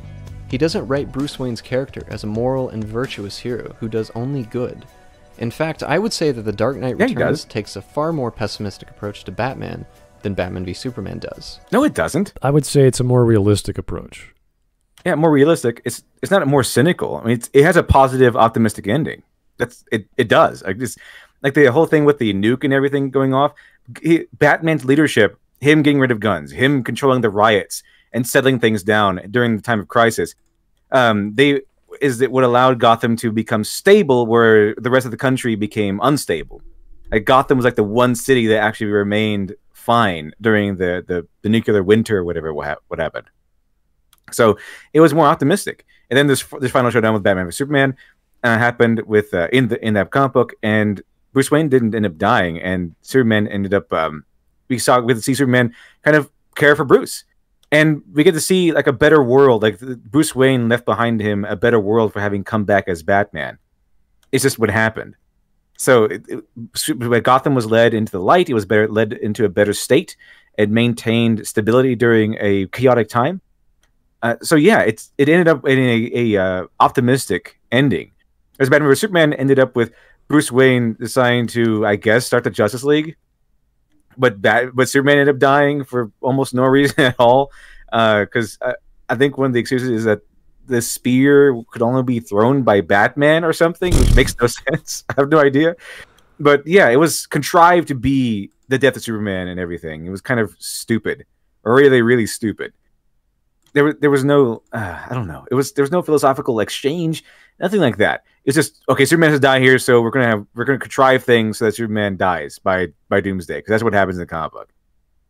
It's it's more pessimistic. It's very pessimistic in Batman v Superman, and even after Batman supposedly turns the new leaf and becomes Superman's friend because their mom has the same first name, he still kills people. And he still goes in there, shoots a guy's backpack, and has him explode. He still kills people directly. So it's not like he got he turned a leaf and said, "Oh, I better not kill people anymore." In the movie, uh, he still he goes, "Okay, I'll help you out, Superman," and then he goes off and kills more people. so it's not like he turned like there's there's an arc where he, he goes back to his non-killing ways or goes back to more noble ways of doing things. He just helps out Superman now. It's I still say it's very strange to to not come with a gun and then start using guns to kill. It's it's very inefficient. I don't know why you're going that far. It's like, oh, look, I'm so cool. I can disarm you and use your gun. It's like, what? Like, just anyway. Miller writes Bruce Wayne's character as an old, senile, hard-headed, delusional mess. Don't think he's senile. was Senile and delusional? Pretty sure he's not senile. He's a little bit crazy, a little bit, but he's like it's not really a new crazy. He's more like an old crazy, like the the the Batman. It's like a beast inside of him, to, uh, yearning to come out. And he kind of shaves without himself knowing because the Batman wants to come back, the Batman part of himself. But he's not senile. He's a little bit crazy. Oh, He's not delusional. He's just a little bit crazy with I his think- other identity trying to break itself through. I think he's always been a little bit crazy. It doesn't make much of a Oh, yeah. difference whether you get older. It's still. I'm Yeah. gonna I'm gonna put some tights on again. I'm gonna go swinging from buildings. It's like okay. Yeah, exactly. I mean, the same amount of Joker kind of mentions that too in the Killing Joke, where like something bad must have happened to you. Otherwise, why would you dress up as a bat and fight criminals? Uh, so it, yeah, Batman has always been a little bit crazy, a little bit uh, abnormal in the head. So when Frank Miller has that happen to Bruce Wayne in the in the book, it's not new. It's something that we can kind of make sense for Batman to have, and it's, it's at least, especially in the most private moments. Here is Mike Testa. Hey Mike, how you doing? If Snyder want wanted Batsy to kill, uh, go with Knightfall. Where shocker, it's still not Bruce Wayne killing. That is only way you can have a Bats who kills. Okay, uh, Knightfall and the whole arc. Uh, that was Jean Paul Valley, where uh, Batman got his his back broken, and he needed a, someone to sub in for him before he healed, and that that was a whole strange uh, fiasco to get his back healed. And then that spawned the the Azrael comic, where Jean Paul Valley has his own uh, story, and the Order of Saint Dumas and all these other crazy characters pop up. So uh, yeah, no, it's that was a pretty that was brutal. That was one of those stories where just a lot of people died, and you're like, oh, it's not Batman, it's someone else. So yeah, Azrael is a is a killing machine. it's kind of crazy. so obsessed with his own legend that he does things like shoot a man with a gun, then hypocritically condemn the weapon a few pages later, as if he didn't just use one. Miller creates that's that's not a few pages later. That's like a several books later. that's not a few pages. This isn't just shoot the gun and then it breaks it in half. Okay, it's it's totally different circumstances. And uh, as we said before, he canonically within the the book he did not kill anybody.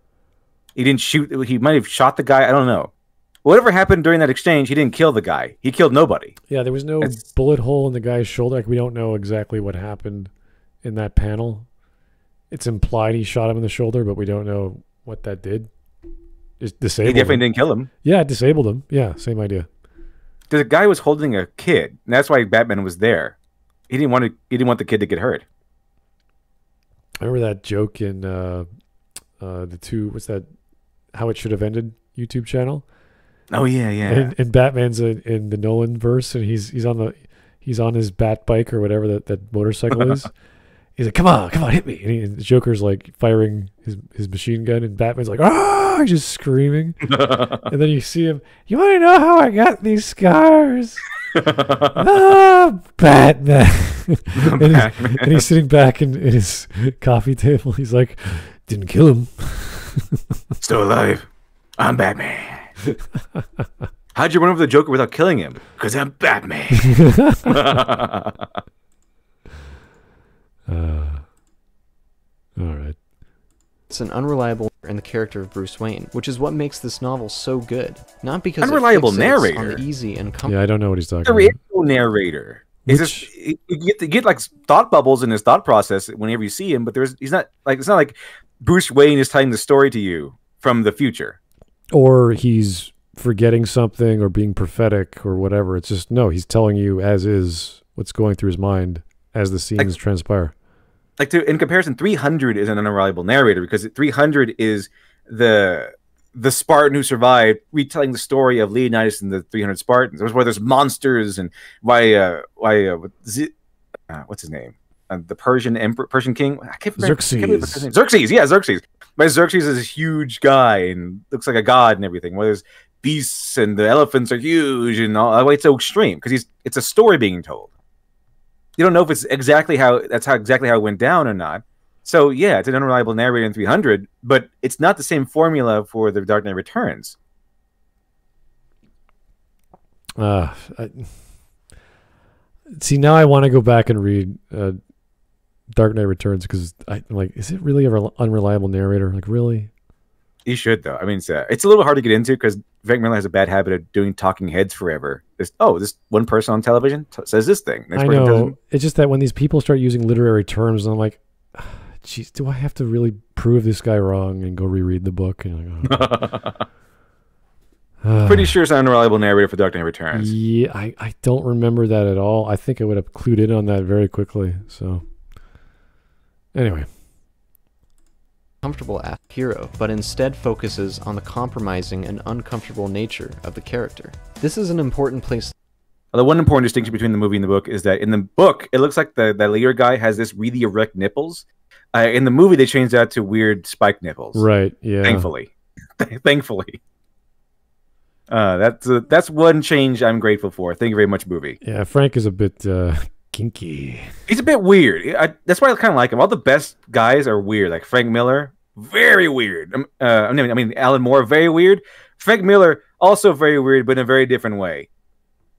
Neil Gaiman is also weird, but he doesn't act weird. He, he doesn't act weird, but his, he gets, his weirdness kind of comes out in his writing. But he's good. He's good. You have to have that little weird abnormality. Uh, to I don't know. It seems that's the pattern. You're all the great writers have this weird abnormality to them. You, All can, you can still see that in Bret Easton Ellis and, and Chuck uh, Chuck Palahniuk. They even have that weird stuff in there. So well, it's that's kind of what they're they're going. They want to push that envelope, and absolutely they're trying actually really hard to do so because that's where all the good writing comes from. So it's uh, trying to trying to tell those stories from life and put them into a fictional scenario is, is a little tough sometimes. So yeah, no, he writes those those really crazy stories, which are awesome. So yeah, that's what we want. All right. to start, because Snyder, like Miller, did not want to fixate on the mainstream mass appealing superhero that we all love, but instead wanted to work with a challenging and broken version did, of that though. character. I, I would argue that Frank uh, Zach was just like, what did Frank do? Let me do that. Only screw it up because he didn't know what he was doing. pretty much yeah. He was like, oh, what did Frank Miller do? I'll just use that, but take the heart and soul out of it. Yeah, I'm sorry. I just do not see Zack Snyder as some philosophical literary genius. I just don't. I, I it, He- Me neither. you, you listen to like Harlan Ellison and and Gaiman, and they're very different people, but they've got some. They can sit and talk for hours, and just Really good. The best writers have usually have something to say. And and just ramble on about all kinds of weird, crazy stuff. Zach, I, I just he seems like a nice guy. Like that's I, I can't see him articulating much. Like I can't see him writing essays. I can't see him giving a lecture on storytelling. I just really can't. I'm sorry. Neither can I. None the not any any perspective. I don't might tell you how to. He might, he might tell you how to do colors or Sure. how to do camera lenses or whatever. But in in terms of storytelling, the physical philosophical elements underneath, good storytelling, characters, and things like that. Not really. Yeah. I, I'm not here to put him down because I'm sure he's excellent at other stuff, but that's just not his field, and it just doesn't sound like he has the mind for it. The same with J.J. Abrams; like he just does not come across to me as any kind of writer.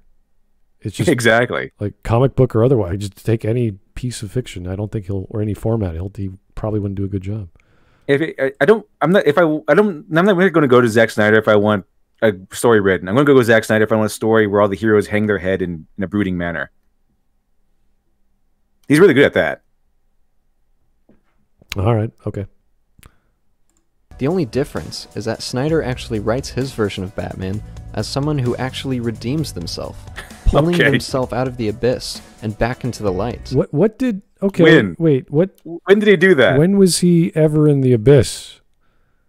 I think it's, he means like because Batman has fallen, was fallen, has fallen, and he's going to be like the, the dark, broken Batman, and at the end he redeems himself. Wait, wait, wait. So I guess. when he lost his parents, he was in the abyss, and that's what he, he was always in the abyss. I guess when he's he's saying when when he lost like Robin or whatever in the movie when he lost Robin or when whenever he got to the idea of how many people say it that way, how many heroes say it that way, that that part where he's he becomes the killer Batman, that's when he's in the abyss. He's broken and fallen or whatever he wants to call him, and then he redeems himself. I I guess somehow, I I, like he redeems himself by killing more people. I, I, I, I do not see the Dark Knight Returns as a redemption story. no, it's not.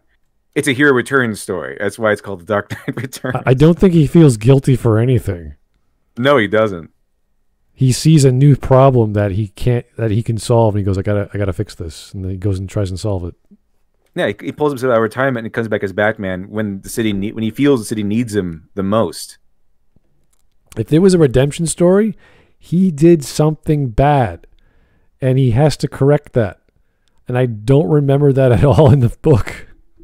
Exactly. So the reason why Frank Miller didn't do the write the redemption character that Zack Snyder supposedly did is because Dark Knight Returns is not a redemption story. That's why he doesn't redeem himself because there's nothing to be redeemed from. Frank Miller writes him as the good guy. Frank Miller writes he loves Batman. He wrote he wrote Batman as always correct. Like no matter what happens, Batman is in the right. It, it's this is how he wrote him. That's this is how it goes. He has to in order for there to be a redemption arc, he has to have been wrong at some point. But he's he just isn't. Except for when you know the the Joker he, snapped the Joker's neck, but that's kind of the that's a, kind of the raising the stakes sort of thing where he kind of shows that he's he's not entirely stable and he can be pushed to breaking point. He's not the Batman he used to be exactly. But if that if you wanted to say that's his redemption thing, then that should probably happen in the beginning, and then you should probably be, feel guilty about that, and then spend the rest of the book redeeming himself. But it's not a redemption story; Yeah, I'm. it's I'm, a hero's return I'm trying story. to think of the movie where is he sad for the death of Robin, and I'm just like maybe, but that's doesn't never seem that way. it's never addressed. He doesn't feel like he's haunted by Robin's ghost. He doesn't. He's not talking about it. Like, how do I know? He's. I don't know. I have no idea. He glances at the suit once, and that's it. That's about it. I don't. This dude. This this guy is reaching. I don't. Like, dude, come on. Don't make shit up and expect us to go with you. Or if you believe in something, explain it. Yeah, exactly. By establishing these three counterpoints, this video ignores the opportunity to actually critique Snyder's Batman, opting Okay. instead to critique a woefully misunderstood version of it, one that is exceptionally easier to critique. By okay, okay. This is this is getting dumb. He didn't. He was watching the movie wrong, guys. He interpreted it wrong. You're watching movies wrong, you guys. you you. He, this guy never read the comic and he didn't watch the movie properly. Like really, this guy. I mean, a lot of people read The Dark Knight Returns and liked it. A lot of people. It's not just oh you you- read the comic book correctly. That's why everyone liked it. No, it was written well. That's why everyone can kind of grasp the themes It's- and the motivations and the character of Batman in that one. It's kind of hard to misread a comic book. Like really difficult. It's basically a series of images with dialogue and narration. It shows you and it tells you in different contexts. Like you don't have to think about visualizing it's right there your your brain you could turn that part of your brain off and go oh here's a here's a slice of time That's exactly what happened. Okay, great. if so many people and, and so many people like this have a, are raging against this movie, then maybe it's not the people who watched it wrong. Maybe it's the movie that was written bad. Maybe there's something wrong with the actual writing. Maybe it it couldn't provide what it wanted to provide over the course of the time it was playing. It could be that. Okay, here's Great Scott. Uh, thanks for the five. Unpopular opinion. The only good comic book movie Zach did was Watchmen, even though he really botched the aliens Manhattan stand at the at in at the end. You know what? Uh, I I, I don't, like Watchmen. I I don't want to see it. I, I like the movie. I like the movie, but again, it was. Uh, it's not. It's. I, I, I could hold it as different than the comic book because there's no way that he can do the comic book any sort of justice, really. Uh, but I like the movie in its own entity. However, it's another example of Zack Snyder just making a good film because he used someone else's story that was already well written. Alrighty. Leveraging this understanding to your audience, you're creating an easy argument to knock over. An argument that is not being made by the other party. A straw man. What other? What do you? I, What straw man? I don't. What is this guy talking about? What other he- party? It's. It seems like he's critiquing the movie directly about what he saw. Is- I mean, uh, is the the other, only straw man is a joke, I guess. is the other party the movie? Like, what is he talking about? I'm not really sure. I, I just like, dude. Like, all you have to do is address his points and say he says this thing. Here in the movie is where he's wrong because it's shown here, and we, we could look at that scene in the movie and go, yeah, maybe he is wrong, and that would be that. He's he's trying to rationalize this guy's wrong because he clearly watched the movie wrong. You're like, dude, come on. oh, you just watched the movie wrong. That's all he said. That's all he's he's doing in this clip. Before you guys go and try to make fun of the filmmakers for not doing their research, maybe try a little harder to understand not only Uh, the film in question, Oh, isn't I- I that rich? I don't think he has any room to s- to to chastise anyone on not on not doing research. What a Uh, what a load! Give me a break. All right, did you know Batman kills people here? Or did you read the rest of the book? No, because that would destroy my argument. Did you know that it's heavily implied that Batman killed a Joker? No, it isn't. No, it isn't. Oh my god, this guy. uh, he learned. As long as people talk about it, it's good. This is this is sad. Anyway, I mean, we have other kinds of sadness when we watch videos like this, but this is like he's he's destroying himself. and He's not aware of it.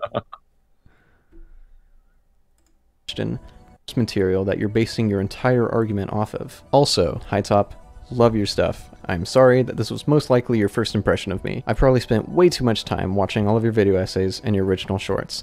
Please don't sue me. Don't sue me. Part three: The Killing Bat. I- I can't even remember what the previous parts were. They were just so monotonous. there was nothing in them. I just, dude. Ah, these people! I swear they gotta take a logic class or a math class for once in their life. Uh, so far, I'm not convinced. Uh, I'm not convinced I misunderstood Zack Snyder because you the only evidence I've seen so far has been wrong. And It's all they always have their their essays or whatever bullshit in parts. oh yeah. Like the, I've I've figured it out. I've categorized my video into parts. Therefore, I've I've rationalized my ideas. You're like, yeah, the code. and your I ideas your ideas are still shit. they don't make any sense.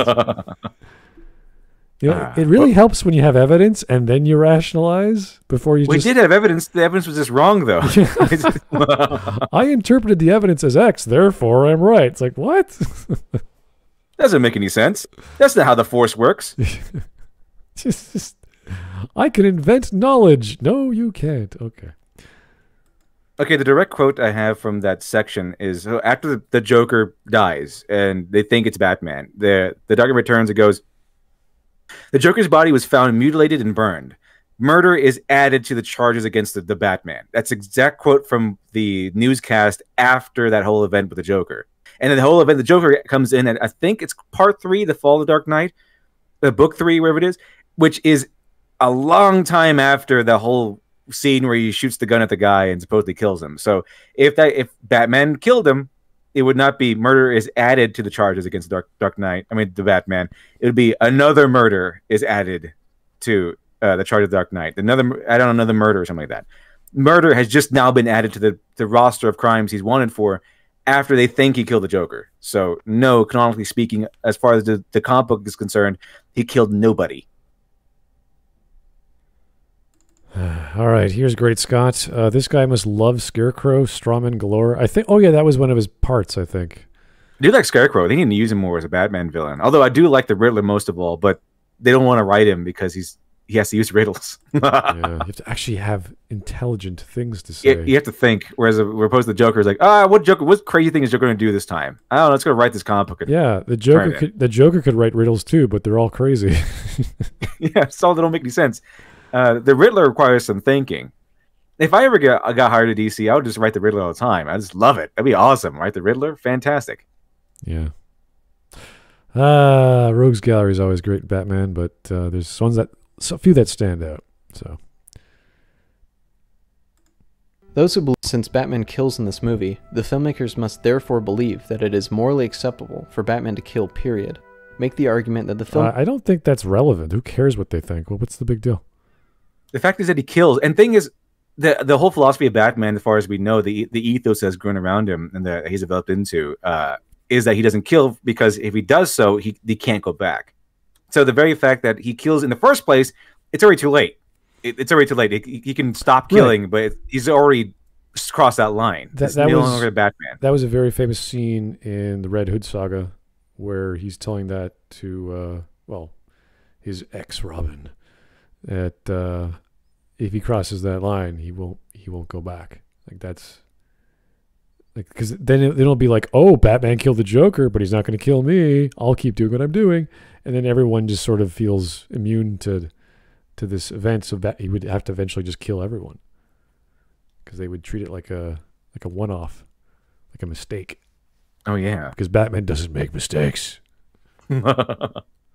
Never does. Where's the other drugs going? Except for that voice. that was a weird one, yeah. It's like Christian, we want you to ru- ruin your entire voice for this movie. Can you please do that for us? It's like, can I just use a synthesizer? It's like, no, that's too cool. It, it gets kind of funny when he's philosophizing and, and like talking to jokers. Like, the way to believe in good. He's doing that voice, so it's kind of silly. Oh God, that that was the uh, the police interrogation scene. I can't remember what that.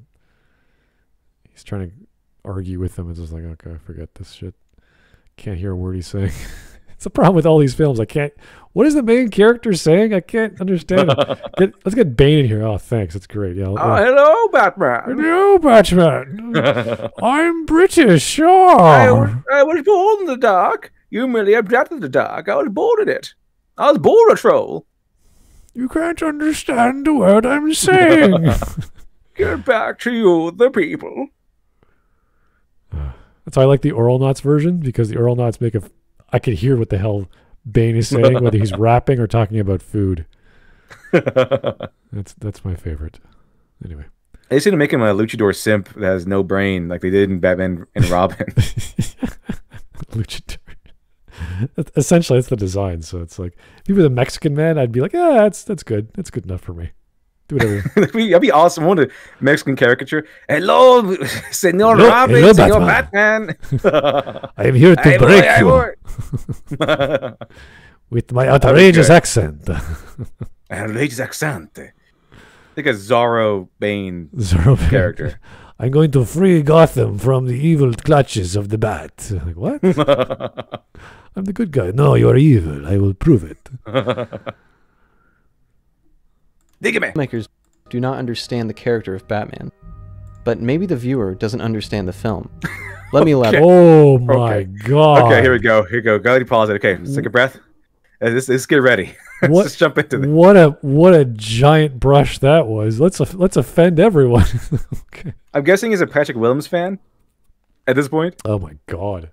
I don't, I, guys. You don't understand the creative genius that is Zack Snyder. I can't even finish that sentence. Holy. I mean, it, it's easy to make Batman kill. That's the easy part. It, it's easy. Bat, people that make Batman kill, it's a lazy way to write him. It's a lot harder to make a Batman who doesn't kill. Batman chills out on on buildings, the tops of buildings all day. He could snipe people if he wanted. No one have any idea what the hell happened. Not easily.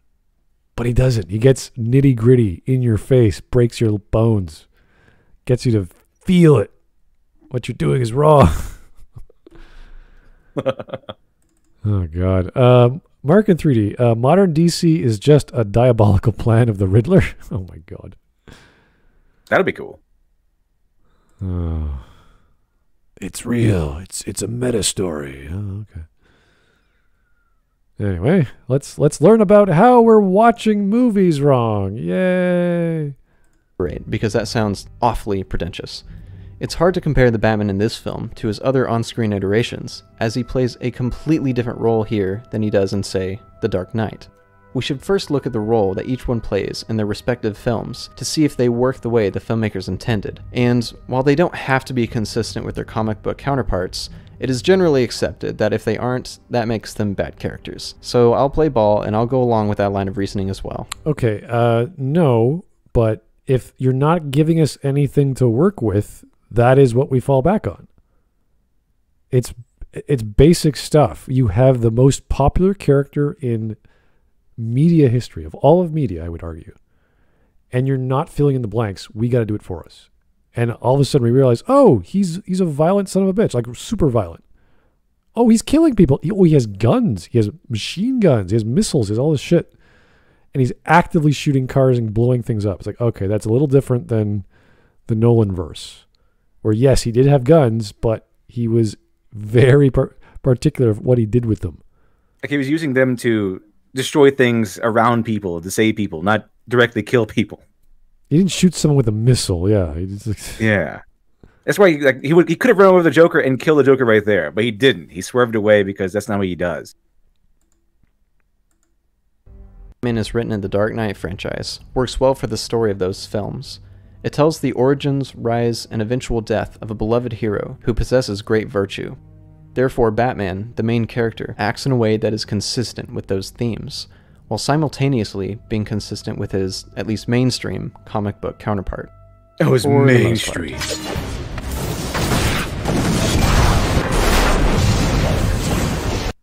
To get a better understanding so He still didn't kill anybody. I mean, he he flipped it away so that he can make a distraction. Is the the building started coming down, uh, what, what is he getting at? I don't like. and the reason why he did that is because they ordered him to kill somebody and he refused to. Yeah, that's what I remember about that scene. They they said you have to decapitate this guy, and he flips this the this was it the some hot Yeah, poker or whatever. Time to go, like time to go. And then uh, it, it wasn't even like that guy was an innocent person. That guy was not just a thief or something like like that. That guy, they said the guy was a murderer. So that guy kills people, and he still refused to kill the guy. Right. All right. of how these things are structured, here's a way I like to visualize it. The themes are ultimately what the film is about, and are therefore at the top. The story is a conduit. That why would it be at the top? Why is it a hierarchy? Story leads to th- you have to have a good story first, good structure, good narrative, in order for the themes to come out. You can't just have themes and I- then I, I like his definition. I agree. Themes are what the story is about, but it's still part of the story. Like everything is the story. So yeah, themes is part of the story. Story leads to theme. story leads to everything. I don't know. Like why would you? I, I- let's just keep going. This this is fascinating to me because he's just inventing shit. I'm like, wow, okay. We remember the story, and then when you explore the story, you get the themes. Like, oh, that's what it was about. It's kind of like that Plinkett thing. You might not notice it, but your brain did. That's where kind of themes come in. People kind of pay attention to the story. They're intrigued by the story, and then they appreciate the themes when the story is done well. Okay. through which the themes are communicated, and the characters are the vehicles which drive That that is wow. What is going on? Oh, this this is fascinating. So he thinks everything is character, and from character comes story, and from story comes themes. Wow. This this tells me a lot more about him than all his other crazy Batman bullshit. This is this is interesting because I would argue characters are, are, are very important to, to most Absolutely, very important. but they're not they're not before story. Story is the for, the start of everything. Oh, absolutely. Then you have characters. Then you have a bunch of other stuff. Then you have you know Uh, ideas I and think I philosophies. think it's, it's pretty good here, except put the themes at the bottom. put well, okay, put story first, whatever you're talking Yes. about. Then have your list of things like characters and setting and conflicts and all these other ideas, and then and then play around with the higher level ideas like themes and philosophy and inner conflict and overall arching plots and all this other stuff. There's, but even then, I, I don't even like putting things in a hierarchy. Like, why would I even bother doing that?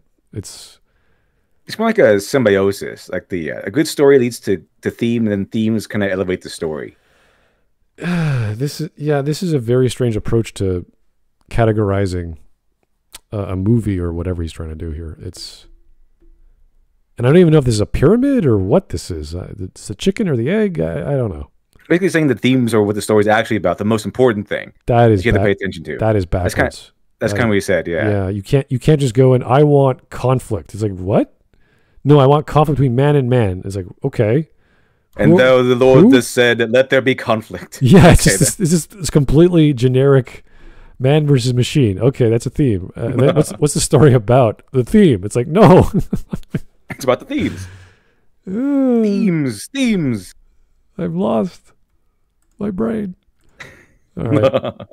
drive the story. These elements, if done correctly, should work in perfect harmony with each other. Let's apply Sure. this to the Dark Knight. The theme of the Dark Knight is incorruptible virtue in the face of evil, or belief in the good of man. The Um, I don't even know. I I can't even. I have to watch the film to to be aware of that. But I'm sure that was, that was with the case because it was at the end of it was uh, the conclusion was, uh, eh, there's all those people out there they believe in good, and they're not there's they're not as ugly as you because they didn't, the prisoners didn't blow up the innocent people and the innocent people didn't blow up the prisoners, which is something that the Joker was counting on. It didn't happen that way though. if you're talking about a hero's narrative, it's always the guy triumph, triumphing over evil. So good versus evil, man versus man. They're all very similar. Um, but when you when he says theme and what a story is about, I need literal examples of that theme being executed, and I need that to argue that's the major because a major theme to me is just if there's only one theme, there's 51 or two themes. There's only 51% of the film is that theme. And I always say the example of zombies, uh, you're shooting zombies in a zombie horror post apocalyptic world or whatever. So if you're having multiple themes, the story is about multiple things, then it's going to be 34%. And you're going to have 33, 33 of the two other themes. So it's always, always, always showcased in a practical example. And then you could say, oh, not only is there this, there's a higher interpretation, there's a higher understanding of good versus evil. That there's a message, there's a there's a lesson that you're learning from why does Bob keep killing zombies? Does he hate them? No. He's trying to protect the world and he thinks the less zombies there are, the better the world will be. And that is the the overall message that you could interpret as such. And maybe he even says something along those lines. But that's not inherently necessary for the plot.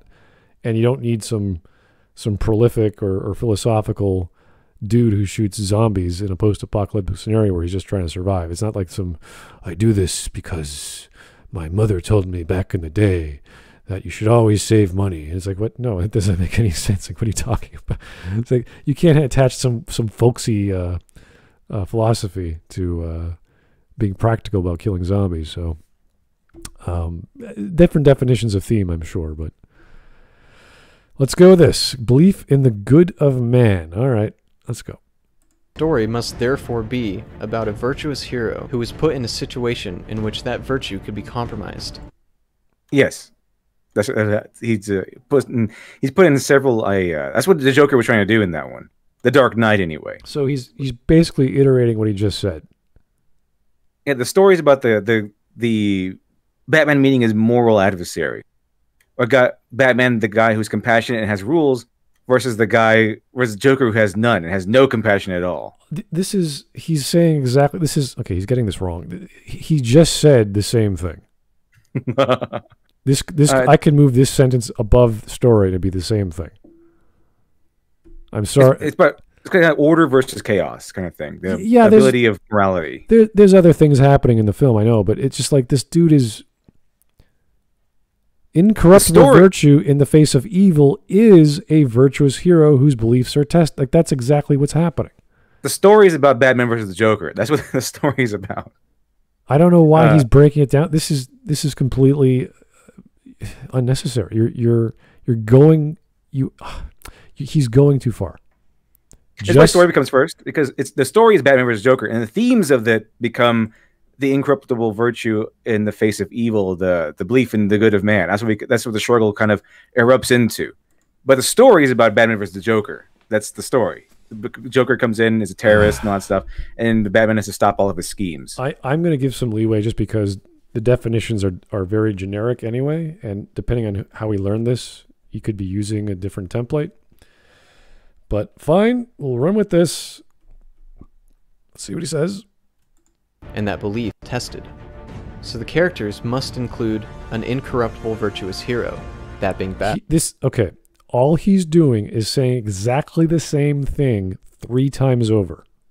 All right. Uh, oh yeah, I mean it's not about him being totally incorruptible. It's about him making choices in the face of this horrible challenge to his virtues, and then maybe not making the right ones. That's how you get a guy who's not perfect. That's a guy who's who has to push himself to the very brink, and uh, you get you get Dark Knight Batman. That's why people like it because yeah, Batman pushes his morals. He goes, he does these things, and it ends on that note where he kind of becomes the knight in tarnished armor when he uh, when he absorbs the blame for the deaths committed by Two Face.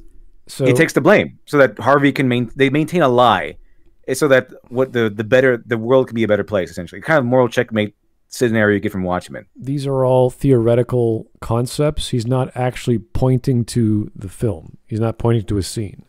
And this is what I mean by I need a reference to what you're talking about because all he's doing is repeating himself and he's saying, "Here's the idea, here's another interpretation of the idea. Now I'm going to give you a name with the same idea." And you're like, "Oh, Batman. Yeah, we, we yeah, we knew that. He's virtuous. Yes. Thank you. I mean, just you should have said that. Put all this together in the theme category.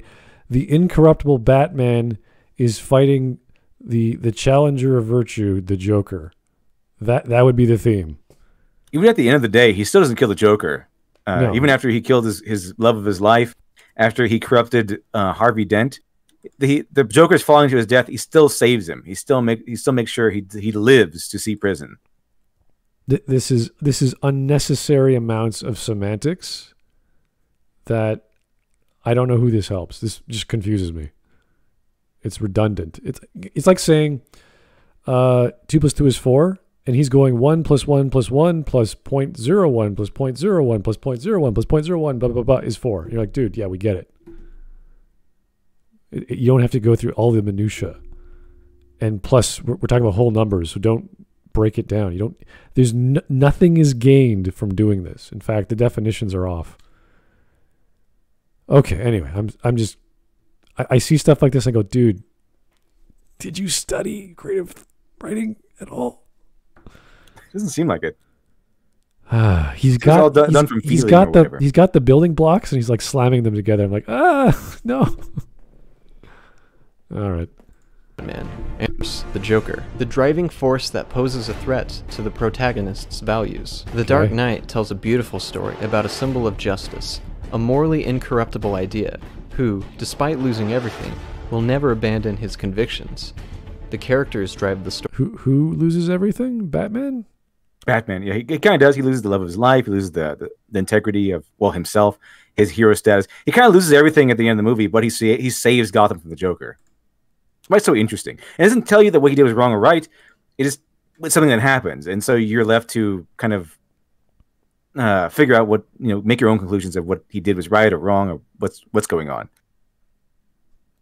All right, here's Mike Testa. Thanks, Mike. I would love it if they did a movie with Mad Hatter as a Batman antagonist, or at least pair him up with Scarecrow for the fact they play mind games. I think uh, there's a lot of great animated Batman episodes with the Mad Hatter, Toyman, uh, what was it, Alice, that little girl who never grew up. Um, was it Susie or Alice? I can't remember.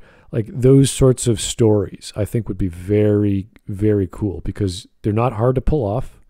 You don't have to go crazy with CGI and this and that, and you could you could focus in on the conflict very easily because it's just a person with uh, a childish idea, which is violent and dangerous, kind of like the uh, the the penguin in uh, the second Batman film, where he's got those crazy penguins with rockets on their back, some ri- ridiculous looking thing, but do it with toys instead. And uh, you know whatever crazy ideas they have, so maybe poison, maybe an explosion, maybe a bomb, go crazy. That that would be really fun to watch. I think lots of lots of tech, but not. Don't make it one of those silly uh, modern day computer tech silly stories. Make it practical. Make it all down to earth. I think that'd be easy to do, or at least fun to watch. Anyway, story. The story communicates the themes. Now let's talk about the story of Batman v Superman and how Batman functions in that movie, which is very different. But you didn't say anything. I think a hard pill to swallow when But he didn't say anything about the movie. He just kind of just yeah, Batman vs Joker, and that's it. So he Yeah. tells a beautiful story, and then he moved on. it's like yeah, okay, like we like uh, first of all, I might have seen the movie, but maybe I don't. Maybe I haven't seen it in a while. I don't remember all of it. I think he just it'd be wanted- helpful to explain. I think he just wanted to give us his rendition of the definition, and it's like, okay, fine. Yeah, Batman does fight the Joker. Yes, there's one is virtuous, one is not. Yes, thanks. Come on, give us something. Is is there some value to that? Like, what's the tell us the quality of that scene or or the the theme of that? What's the value of that? Why so is far, this good? everything Why here is seems, this seems kind of empty. This whole, this whole thing just seems kind of empty. just I- feel like yeah, feelings and, and emotions. I could I could rationalize the theme of man versus man. Bravo. What's your point? This is this is like I don't know, dude. You're you're you're a few steps short of an essay. You you did some thoughts, then you, wrote them down, and then you went nowhere. All right, let's see where he goes with the next movie. going into this film that Batman, while being the protagonist, is not the hero of the story. In fact, I would go so far as to call him the villain. Okay. The film opens with his fall So the idea of an anti-hero is very much in the realm of Batman. He's an he's an antagonist to Superman. I'm not sure he's he's supposed to be portrayed as the villain. I don't think so. No, I don't think so either. I think they are fighting each other because that's the premise, and they're trying to set that up, and that's the problem with the damn film. It doesn't make sense. Why? And you have all this time getting to that point, and all we get is, "Oh, I have your mom. Go fight Batman." And That'd be cool. and that's it. It ha- it happens within five minutes. You're just like, what? What was all this set up for? What were we doing all this time and trying to go to parties and bugging the systems and getting data? Like, what is this bullshit? Totally waste of time. Really was. From Grace, deliberately setting up a character who no longer values those perfect things or those diamond absolutes. How, uh, how do you how do you know the inside of Bruce Wayne's mind? Can you can you tell us where in the film that happens? Can you show us?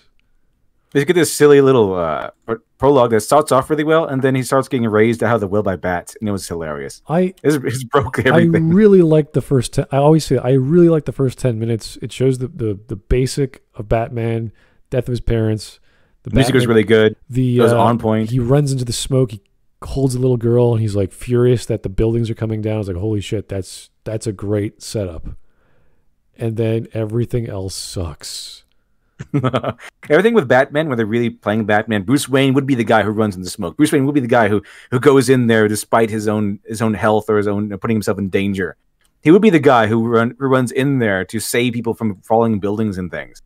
And the uh, the whole opening where it shows us that the uh, little glossing over his parents' death and everything, and the funeral, that was really good up until the bat started raising him out of out of the well in a hilarious manner. Like what, what's happening now? Why is there all these bats raising him out of the well? That seemed kind of silly and over the top. It kind of really broke the moment. But everything up until then, fantastic. Everything was on point. The music was great. It was. I thought it was gonna be a great film at at that point, but uh, I was eventually disappointed. Meta- metaphors where you defy gravity probably aren't the best idea. Yeah, have him like climb out on his own, not raised by bats out of the well. I would have liked to have seen Batman climb that out of the well. Little boy Batman. Just like, oh, I gotta, I gotta struggle. I Why do we fall, Bruce? So we can pick ourselves up. That would have been well. I think that would have been a bit too much of a copyright, but uh, something along those lines would have been beautiful. Yeah. Anyway, uh, Mike Testa, Mad Hatter has mind control, and others have fear gas. Mm, okay. Yeah, that could work. I'm not a big fan of mind control in general, especially with Batman. It's kind of a cop out with like Poison Ivy. I think that's too much, but temporary mind control it could could work. None of, none of that crazy. I kiss you and you could do everything I ask. It's like, whoa, wait a second. Uh, anyway, The dream, they took me to the light. A beautiful lie. Batman is the beautiful lie. This par- no. What are you talking? Wha how is Batman a beautiful lie? I thought I thought it was like the the good optimism, the optimism that Batman was supposed to have. That was a beautiful lie. Like obviously it can't happen. That's why he starts killing bad guys. I don't think Batman himself was the beautiful lie. He, he looks, Batman- it looks like he exists. Was born as that night when he lost his parents and he became Batman inside of him, and he had to bring him out through years of struggle. So the, so much that inside he's no longer Bruce. Bruce is gone. The facade is Bruce. The reality is Batman. He's not a beautiful lie. He is a reality. Bruce is the lie. I don't know if he's a beautiful lie, but he is a lie. And that's the joke. That's the thing. He's tr- he's acting out the playboy fantasy without actually being a playboy. He doesn't hang out with chicks. He does it for appearances here and there, but he's he's on the clock. He's got It's a Sherlock Holmes thing. It's like, He's got- yeah, I'll, I'll hang out with the Russian ballet squad. Yeah. but only for appearances. He's got a lot to do tonight. Like a lot. so he can't hang around flirting around with women. I mean, maybe for appearances he might shag a few, a few every times a year, but other than that, no. paragon of justice, temperance, fortitude, and prudence serves only as a he did some reminder research, I guess. of his failures. All of those close to him that What died, failures? those he couldn't save. He isn't calm and We just told he failed. We don't actually see any of these failures. That's why we're not emotionally with him. And don't kind of understand. It's like, okay, well, you say you failed. D- did Robin die? Is that is that a truth in the movie? Maybe it's implied that he did. Yeah, like we Like, don't know. He's he's looking at like as a reminder is like this is what could happen. And like of what? Like what did he die? Did he leave you? Did did he But thing is, with the with the Batman who kills in this universe, he probably would have killed the Joker then, right? He probably would have said, "Okay, you killed Jason Todd. I'm going to kill you," and that's it. And there we would be there would be no Joker. So why is That- Joker still alive? that would have been a very poignant dialogue with Alfred. It's like Master Bruce, remember when you killed Joker over the death of the audience? It's like, oh shit, he did. Like that would have been kind of important. That'd be cool to see. Like, how about open up with that? Like the the Jason Todd scenario. That would have been. It wouldn't have been too hard. Just open up with uh, Joker beating Jason Todd to death, and then having the Oh. conflict be right there. Oh, and I just- Batman kills Joker. I just I just thought of that because uh, I don't know if Jason Todd is the the trapeze guy, trapeze. That's uh, Grayson. That's Grayson.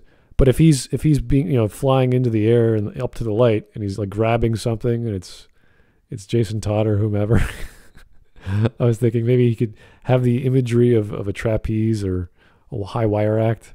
I guess that's wrong. Something. There's nothing of that in the movie. It's just, Yeah. I'm angry and I failed, and that's it. you go from like bright happiness to like oh my god I just lost my son or whatever the analogy is. So that would that would make sense. Like, oh, he's he's he went from really like promising optimistic to oh my god life is horrible. I lost my son. I can't go on. That's why story arcs and character arcs are, are important. You have to show us the beginning in order for for the middle and the end to have full effect. So in Batman vs Superman, says, "Oh, he's angry, he's sad, he failed." Okay, you're telling us that we can kind of get it, but we don't see how much he cares. You don't see how much it affected him. You don't see how what what Batman was like before he became the Batman that we see. We don't see how much he how to what degree did he change. For I know, he just he was the same guy. He just started killing people or something, or I don't know. We don't because we don't know. We don't get how Batman was. This version of Batman was before he apparently changed into the Batman he is now. Here is Cool Coolman229. Bruce is a violent murderer because Robin died. And what about every other version of Bruce who had Jason died and didn't become a monster? Yeah. I, I really, really wanted to know what the hell's up with Bruce. Yeah, anyway. controlled anymore. He's angry. He still fights crime, but he's not fighting for the same reasons anymore. He no longer He's always been furious. I don't. it's he's he cannot sleep. He cannot live a normal life. Every night he goes out like a madman to stop crime, so he feels some sense of redemption or justification for what happened to him. That is the that is the the origin story. Whether that was expressed in the film, I have no idea. He's just hurting people. Values life the way he once did. He is no longer fighting to protect others. In this film, Batman is not a paragon of virtue, he is a shadow of his former self. The film itself doesn't treat him like a hero. Alfred constantly fighting with him about his methods, Luther taking advantage of his rage, and the first scene with Batman is shot like it's straight out of a horror movie. This film isn't telling the story of the journey of a virtuous hero. It's telling the story of a fallen one, a man who has abandoned that virtue in place of cruelty. His 20 years of tragedy have hardened him to the point where he's completely lost himself. And guess what? That's just the setup. The film takes a broken Batman and asks the question just how far down can he fall? How close to the point of no return can he get? I feel bad for those who didn't like or understand this It's scene. pretty already set up. He's those pretty who fallen already. and call it stupid and nonsensical. Well, I mean, it is just calling it how it is, you know, stupid, nonsensical. Yeah, why is he broken? Can you tell us? Yeah, can we fix him? What what happened? Is there a warranty on this Batman? Can It's we, like- can we turn him and get another one? We we get that he's violent and angry and pissed. It's like at what? Why? That's all you got to do. It's really it could take 5 seconds. It could take 10 seconds. I don't care. Oh, my parents died. I better go on a moral crusade. Oh no, Jason Todd died. I guess I better start killing people now. I guess. I guess. Yeah, that's all we got.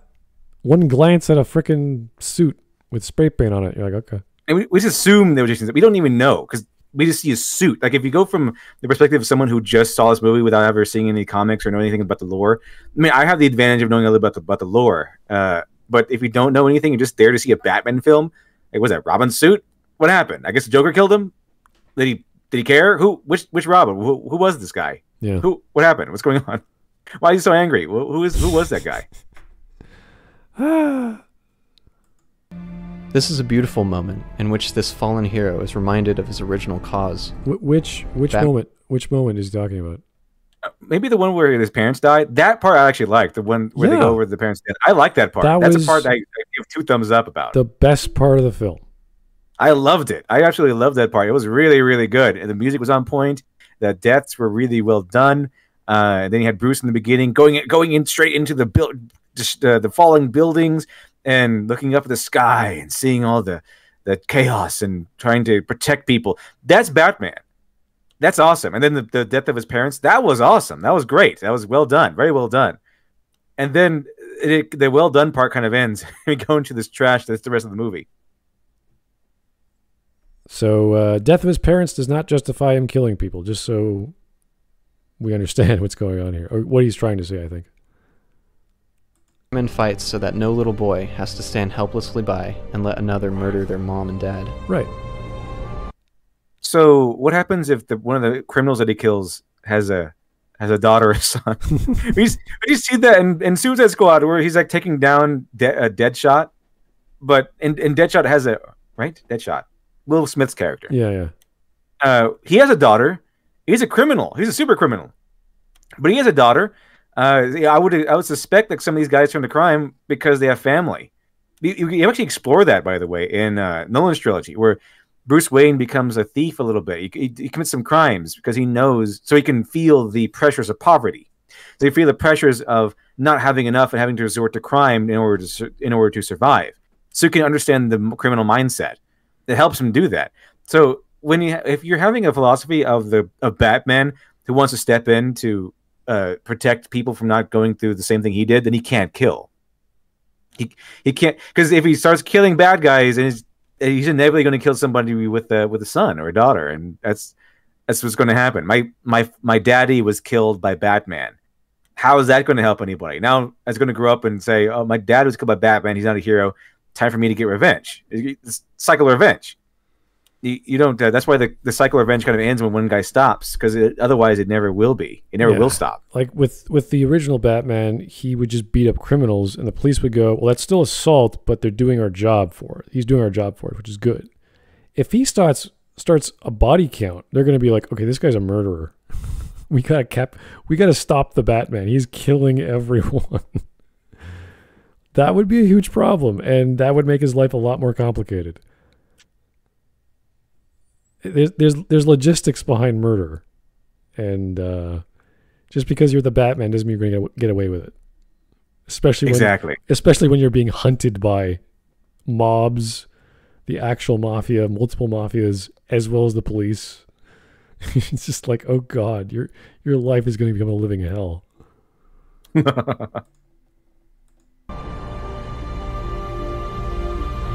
Why did you say that name? Oh boy. Martha, why did you say that name? Ah, stop! Please, stop! Why did you say that name? It's his mother's name. It's his mother's name. Oh, okay. And Then he stabs him in the chest, right? Because he already knew he had parents. Yeah. That's how that would end. Is, isn't that ironic? Our, our mom's names are the same? Yeah. Slice. That's pretty cool. Anyway, Stab. I just stab in the chest. Okay, we're done here. What? What? Why would I? This. Let's just let's just keep going.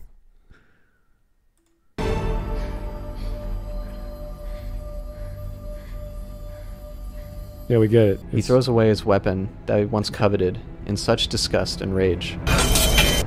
It just makes it's so silly that a one percent chance, Alfred. There's a one percent chance he could turn evil. He must be killed. Oh, we have the same. Our mother's the same name. Oh, forget that one percent chance. How you doing, buddy? That's what happens. now. Now it makes sense. If her name was Sandra, oh, he would be dead by now. Time to die, Sandra. That's a dumb name. few a few consonants, a few vowels shifted around. oh, dead man walking. That's what it's Uh, exactly. You don't deserve to live. Oh my god. Save Bruce. Why did you wait a second? Wait, what's going on? Am I in trouble? What's going on? Who am I? What are you? What Dad's name. Wait, what? Nothing makes any sense. No, save uh Just pick all his friends' names. like, oh god. Save Alfred. What, how do you know that name? no one knows that name. Oh. Alfred. this is this is Dad's name. That'd be kind of weird. Oh boy, that'd be that'd be like what? what? Wait a second.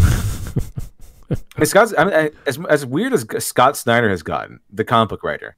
Uh, I I read uh, a lot of his run on Batman. It was really good. You got you got a dark story of Batman, a Batman who still didn't kill, but it got really dark. Uh, he's the guy who introduced the Court of Owls and Alfred's new role, which was really interesting.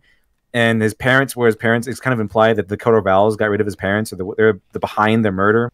And uh, the, and we get we go into the history of Gotham and the, the legacy of the Wayne family. It's really cool. It's really interesting. And then we get to see the the Joker run, where Joker, with, who's who has no face, comes back with his own face as a mask and starts running rampant. He's a force of nature in that story. And we get a really dark story out of out of uh, Scott Snyder, and at least in those iterations, th- those two storylines. And then we have um, we get to see Bruce Wayne's flaw come in, where he kind of pushes away everyone else. They trust him for a little bit, then they, they come in and it's noted that he he keeps pushing people away. He becomes too obsessed with their safety because his his parents' deaths traumatized him. He doesn't want to lose another person like he did before. He doesn't want to. It hurts too much. So he pushes people away. He wants people to say, remain safe, and they take that as you don't trust me, you don't you don't believe in me. So they kind of leave, and you get all of that in Scott Snyder's Batman. Uh, but he doesn't. He still doesn't kill. He still get dark story. He doesn't kill. He falls to. He succumbs to his flaws a little bit. He still doesn't kill. It's dark story. It's pretty much everything you want from from the Zack Snyder. What Zack Snyder wanted from Batman, except he's consistent with Batman's character, the ethos of Batman. Yeah, I gotta get back into Batman. It's there's a lot of great stories out there that are still being made that uh, we just lose them because there's so many. And Yeah, there's a lot. Yeah. the only character that can make real stories about anymore. Yeah. All right, Mike Testa, what's happening, buddy? Uh, ah, but Smud, that's where Scarecrow comes in for the the Mad Hatter. You see, the mind control is temporary, but if combined with fear toxin, could be permanent. Okay, uh, y- you know what? You can do all kinds of crazy stuff with uh, uh, toxins and and uh, magical evil fear juice and this and that. Uh, yeah, I go for it. I, I- I would love to read a or see a movie about that kind of story where you get minor characters play around with uh, things that like toys and, and little knickknacks, kind of kind of back in the Tim Burton vein, but not by in the style of Tim Burton. I think that would be interesting. Uh, zero, thank you for the five. Uh, in an alternate universe, Batman kills Superman because he's mad that someone has his mom's name. Yeah. Uh, How dare you have my mother's name? That doesn't. How dare you utter my my sacred name? That matters so much to me. I hate you. Dead. Done. If, if anything, Yeah, exactly. if anything, it would infuriate him more. He'd be like, "Oh my god, how did you know that?" Slice, kill, stab. oh, jeez. Like let's let's infuriate the Batman, the man who's about to kill you. Okay, great idea. Save Martha. He immediately jumps at the opportunity to save Clark's mother, not because they're now best buds. From now on, we are the little best to of nothing friends. to do with it. He goes to save Martha, to save Clark from losing his mother. I don't know. I saw them fight Doomsday together. They seem pretty pretty buddy buddy by that point. Hey, is she with you? I thought she was with you. let- they, they completely flipped each other like like like old friends at Let, that let me get this straight. You're trying to tell me the threat of the destruction of humanity is less important than saving this guy's mom. Yes. How in the holy hell did Bruce go, okay, calculus time. What's more important, life on the planet Earth or me saving par- me saving kids from the death of their parents? One percent chance. One percent chance he has to die. Oh, oh, your mom's the same name as my mom. That's so cool. That cave. It's really neat. it's like Bruce, you realize the death of humanity is exactly the same, if not worse, than what you just chose to say. There's a certain oh. aspect of scale here too. It's not just the death of parents; it's the death of everything. Should the Batman to remain con- character consistent with the rest of the movie? Shouldn't Batman be going, okay, I'll save her, and then kill Superman to end the threat he believes Superman to be, and then goes to save Martha and say, "I'm sorry, I had to kill your son," and then you know leaves or whatever. All right, fine. I saved his mom. Time to kill him again. The, the logic here is that because his mom's name is Martha, he's no longer a threat to humanity. I, I, I, guess I, I don't. he mentions that he has parents before and during the fight. He's like, yeah, I bet your parents told you you were something special. And so he acknowledges that, that Superman has parents. So it's not like, oh, he suddenly realized that he has parents and he's a man or he's part human. He realized he knew he had parents. It's just the moment he says Martha and realizes that Martha is You- also his mom's name. That's when he kind of throws away his spear. You'd think, as a detective, you would have researched the, um, you know, the, the the financial records of whatever, wherever. He, like he would have, Batman would have figured out where Superman was grew up. Like that wouldn't have been hard, right? yeah, at very least he could have done that. And then he goes and finds the names. He goes, "Huh, Jonathan Kent and Martha Kent. Isn't that interesting?" And then he would have made the re- revelation, "Oh, his mom's name is Martha. I better not kill him for whatever dumb reason." But he would have done that. Like Batman does these things. He he he's obsessive with information. It wouldn't have been hard for him to fi- hmm, what does he look like? Did he even figure out Superman was was Clark in the movie? Did that I, I, I assume he did. did that even come up? I don't think so. Like that would have been like once he starts doing that, it would have just been a series of of like events to like do a background check and then boom, son of Jonathan and Martha Kent. If Lex Luthor could do it, I'm pretty sure Bruce Wayne could. I mean, something is really wrong with his Batman. if he couldn't even do basic homework that any not even a private investigator anyone could do just go look at the city registry from the past 20 years or 30 years or 50 years whatever this the the what's it called not the syllabus the um, the census like that that's a thing even in rural towns of america you have to do the census so eh, batman the greatest detective uh, uh. because that's who Batman is. Wait. Ah, I'll make promise. Martha won't die tonight.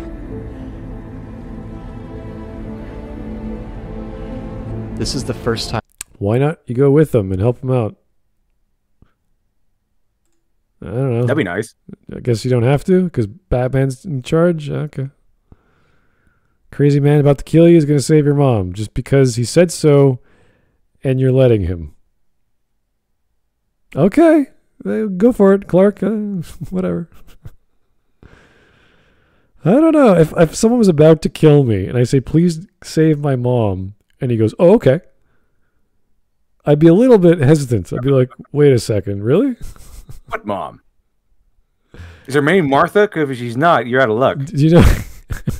do you know where she is? Like, no, I'll figure it out. It's like, really? I knew you had a mom. I don't care you had a mom. I mentioned you had parents earlier, so obviously I don't care. I'm like, you have paying parents. It's like I'll just put everything in your hands, Batman. You figure out where my mom is, and oh yeah, her name is totally Martha.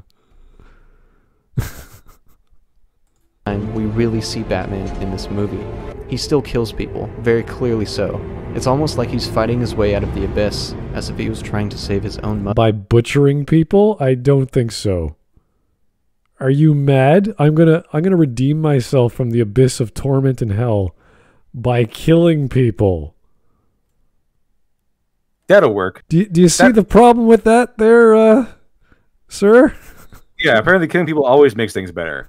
And then Mr. that Colin? Batman in this movie, he redeemed himself by killing people, saying, "Okay, I was so rescue your mom," and he kills everyone in the warehouse. Just kill a bunch of people. That'll make you feel right as rain. That's that's how that works. it's like he's he's solving his problems by murder. It's like what? Excuse me. Worked for the Punisher, or maybe to a more extreme extent, an evil bad guy, but not really a bad man. Not yeah, really not, not the good guy. Jesus. Holy crap. This is the heart of darkness. Just gotta murder some slaves, man. That's all you gotta do. Just murder some black people. You'll be good. Apparently, according to this Batman. Holy crap. All right. mother.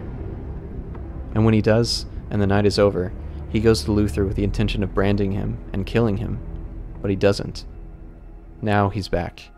In this film, Batman serves a completely different purpose, and it works. Let's go back and look at the themes, story, and characters of Batman v Superman. Oh, the boy. themes Okay, for, first of all, how did he do that? How did he go into this maximum security prison and just walk into Luthor's cell? What is going on there? Does he pay people off? That seems a little over the top for me. Now, second of all, he- he goes in there with the intent to kill him, and then he doesn't. Oh, bravo! I guess he's. I guess all those guys he killed earlier in the warehouse. I guess they didn't. They didn't wait long enough. I like he, he killed all the poor people, but he didn't kill Lex Luthor, the guy who planned it all. Okay, I don't mind the the you know, the escape artistry of Batman. It's all amazing, and you know that's kind of part of the mystique. But that was a bit too much to swallow. walk Um, into an over the top maximum security prison. Usually he can do that, but usually it's like because he let in. Like he can do that with Arkham Asylum because the the cops and the the people who work there. Oh, that's Batman. Obviously he can come in. yeah, that would take a lot of planning and like hacking or whatever, like electrical control, security control, like all these things to to do that. And there was no setup for that. It's like okay, he's amazing. Batman can do cool shit, but you still have to show how like even a little bit like a button he presses on his smartphone or you know something like alfred does something like something it's it's a little too much too late and it's right at the end of the film and uh, he goes in there to scare him like just he just go, I, I, i'll be watching you in here it's like okay Thank, thanks batman Like, do you have better things to do there, Batman, than just scare a bunch of people in We're prison? you. That's creepy Batman. Yeah, that's weird and dumb. Of Batman v Superman include a redemption of the corrupted or the fallen. Who is re- okay? Come on, dude. Who is who is redeeming who and how? I'm not following. and a re-establishment of the belief in the good of man. So the story must include a fallen hero in a situation in which their fallenness is challenged. And Fallenness is that a word? I don't want to say anything, but yeah, fallenness. It's fallenness. I I guess your dictionary.com gives me a, yeah. Oh my god. So- This is a term that Heidegger used. Who used? Heidegger is a very uh, I, he's Austrian or German philosopher, but he he has some of the most difficult philosophy texts to read. So if he invents a word, it's like this is probably not a good word to use. I guess I guess it's a word now because he invented it. Fallenness. Fallenness, yeah.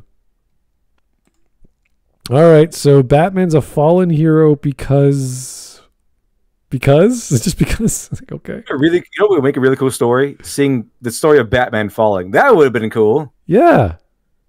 He just he's not- gets fed up. He starts beating the piss out of guys too far. He's like, In the context of Batman vs Superman in the DC Mar- universe, cinematic universe, he's not a hero at all. He's just an anti-hero. he's a bad guy. Well, he's not a bad guy, but I mean, I guess you could say he's a bad guy. But he's an anti-hero. He's not a hero like Superman is. yeah, he is canonically, I would say, a, a, an anti-hero, but he's not like breaking people and turning them into like quadriplegics. He's fracturing their bones and getting them to talk and putting them in jail. The real Batman is not an anti-hero. The real Batman is actually a hero. The Batman vs Superman uh, Batman is an anti-hero at best. Ugh. Okay, he's he's a fallen fallenness fallenness hero. really cool. We They're got to see the the Lucifer fall from the sun, or we, or fall from from heaven. See Icarus fall from the sun. We didn't. He's just a bad guy, and we kind of have to imagine what happened. We have to imagine the fire. We have to imagine what happened before Batman fell. Oh, he obviously, I guess he was good at some point. You don't get to see that. It's really interesting. We got to see the story of Batman who was good, and then Yeah. he we see the journey of him falling. But we don't. He's just a failure. He just, he just failed. He just kills people. actually redeem. The characters must include a fallen hero, and then, of course, the driving force, which poses a threat to the protagonist's core values. How how does Superman challenge Batman's values? What are you talking about? All all Batman does is say he's going to kill humanity. That's bad. We got to stop him. That's it. You didn't talk to him? You didn't say why did you break that building? Why'd you kill hundreds of people? The Dark Knight Returns is a better philosophical battle between Batman and Superman than Batman vs. Batman v Superman by Zack Snyder did. Because he didn't really have one. It's like I hate you, I hate you more, I hate you more. That's what it was called. That's basically how far they got, how deep they got. all he had to do was start this series of questions why like and, and that would have been really awesome to have like this crazy propaganda campaign of batman spray painting the the city of like why did why did superman kill or something like that and there's this this growing resentment to superman that everyone's like yeah why the hell did he kill all those people in metropolis and then there's this big well he saved us like yeah but at the expense of like like 10,000 lives or whatever. Like, God, it was so many. I have no idea what the death count was. Like, that would have been getting it going. Have a plan, have a reason. And then they confront and say, like, well, I didn't know about my powers. I'm an idiot. I don't know how to fight. I'm sorry. Sorry is not good enough. Like all, all this, this anger coming out at that, and it's there's, it's not there. He just wants to kill him. That's it. And all the other shit As is far as all, it goes. yeah. The rest of it is just all the, the political bullshit with Lex and the CNN and all that crap. Like, oh. Thanks, Zach. Great, great story. however corrupted they might be. The bat was merely con- How is Bruce Wayne corrupted? Please tell me. How do you get yeah, there? because uh, in the context of the cinematic universe of DC, he was never corrupted. He started out corrupt. He was already an anti-hero. We never got to see him being a hero. He just seems like a jerk. That's it. As far as that's the only characterization we got from Batman, him being a jerk, an anti-hero. Never, never gonna see the noble, the noble knight, noble Yeah, hero that with- Batman was supposed to be. With the Punisher, he we know why he kills. Like it's clear. It's not like I feel like it. It's like no, no, no. You have to die. You are scum. You are causing chaos. You are killing families. You need to die. And he's very clear on who he kills and, and why. And the show makes it very clear. Batman v Superman, he just brands criminals knowing they're going to die in prison. That does not sound like Batman at all. Why not just kill them yourself? Like why why uh why do that? And then they had to, they had to uh, kind of sanitize the plot. They kind of plugged the plot holes up with, oh, Luthor just paid them off. Luthor just paid them off. It's kind of like saying a wizard did it, uh, magic did it. it. It's really easy. It's a really it's like a or the Force did it. He It's really easy plot insulation. To just, oh, uh, he's paid he paid people off, is chilling out on a yacht somewhere in Metropolis Harbor or whatever. It's like what? How? Even And if then he wa- just he finds everything out off screen. Like, Yeah. okay, well, found out everyone's identities, and did this all all this crap off screen. So they didn't even know how I did it. I'm just smart. even if he like comes back to public eye, like they want to do the whole running for president story arc, it's like you uh, escaped from prison. You're a fugitive. Who in the world would vote for this next Luthor? He's not even charismatic or anything. He's kind of a I don't know, like a gerbil on crack. He's like, I He's just, nuts. I just want to talk about the uh, uh, my dad and uh, uh, it was really weird. He's like a, a more insane Joker. Yeah. That's what he felt like. It was kind of weird. It- I wouldn't I wouldn't trust this guy around knives, let alone the political office. I guess that might be a point in his favor considering he's running for politics, but you know, I wouldn't vote for the guy. hey, I, I could talk to Putin. I'm good. hey man, give me a Come chance. on, man. Come on. How do you pronounce? Is it Putin? Uh, Jill, what's his name? again? Yeah, I think. Okay, I got it. Uh, Poutine? Is that what it was? He's Canadian. Yeah, I could, yeah he's from Canada. Yeah. conduit for him to express his rage and violence, and Bruce has lost himself in that darkness. A darkness that can only be pierced by the blinding light of hope. What are you, What are you talking about? What? Hope. wh- Superman's dead. Which, how how how does Superman provide hope to Batman's darkness? Explain that one. It's, it's the movie is hopeful because Superman dies. okay. What what is this guy talking about? I, I just don't get it. It's kind of like once the movie, once Batman steps out of the way and stops being a bother, uh, Superman can sacrifice himself, I guess, or something, and that makes it hopeful. The hope of Superman, The hope of the hope of a Superman who doesn't really care about the human race. He just cares about Lois and his dad and his mom, yeah. and he he kind of goes through the motions of being a hero for their sakes, not really because he has any sort of integrity. and his his dreams his weird trippy dream sequence is like you can't kill him it's like oh shit i guess i uh, like, save lois or something like, like you know that that uh save the cheerleader save the world sort of thing what we got in Oh heroes yeah, it's like save lois save the world. That's pretty much what it is. But because it's so obscure and the flash is a moron we don't know what the hell is going on in this crazy dr- plus it's a dream sequence. You're like was that a dream? Was that real? Like i don't know man. What the fuck is going what is going on in this movie? I don't know. Ay.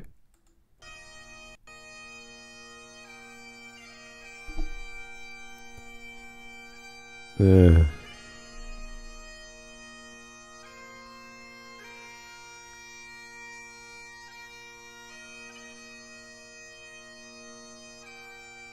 So, what about Superman? This one is going to be a bit more difficult for me, because, contrary to many comments I received in my last video, I don't just blindly love everything that Snyder does. His Superman, Oh, you don't? is something that took me a while to come around to.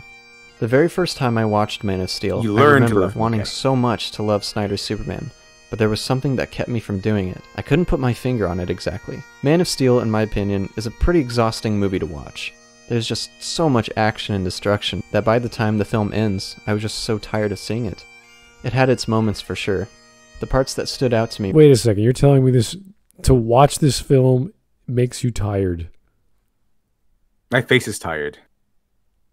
I- I'm sorry. When I watch a film and it's a good film, I'm like, wow, that was a great film. I can't wait to watch it again or talk about it again. Are the backpacks going to go on for the rest of the video? I hope not. This is, I mean, dude, just say you don't like the film. It it made me tired. I okay. Do you Like, mean he said he also said that he doesn't universally love everything Zack Snyder does, and then said at first he didn't like the Super, Zack Snyder Superman, and then it kind of implies that uh, later on I loved alone love him. So. Yeah, it's it's like, do you want an intermission? Like, what's the problem? Did you not take breaks? Like, what is? You can pause video nowadays. I, like, what? Was it emotionally draining? Like, what? Like, this is this is the thing we talk about with uh, the Last of Us Part Two. which is so tone deaf. It's just constant death and darkness and blah and blah. Blah. It's like, oh, we get it. We get the message. It's you're, you're you're boring us with the message. It's so tiresome. You want it to be over. It's exhausting. And you go, oh, what a great game. It's like, what? what are you talking? Something which makes you feel like crap and tired is good for entertainment value?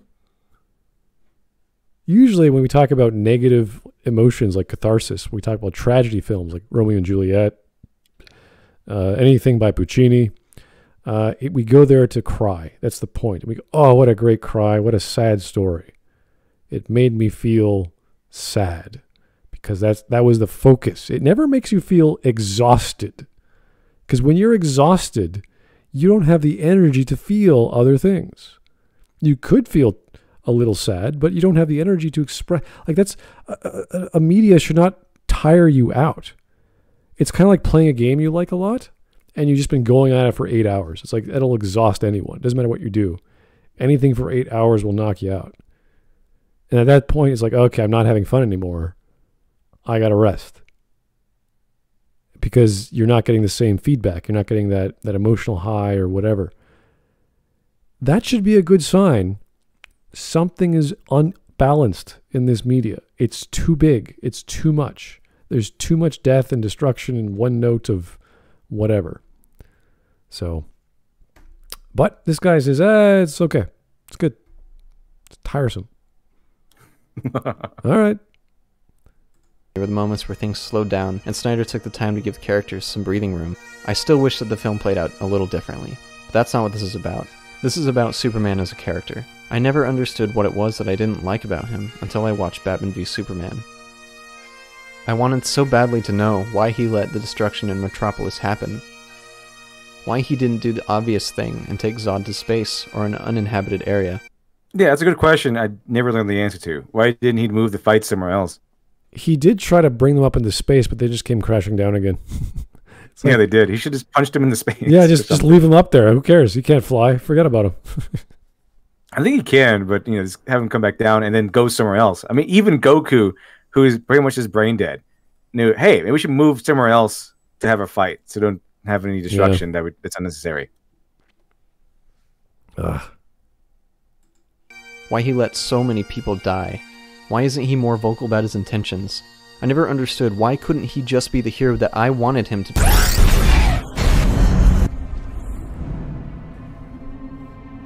Oh, the video maker just died. Until this moment right here. This single moment gave me empathy for this god. what if he looks? Oh man, I just everyone just died around me So- again.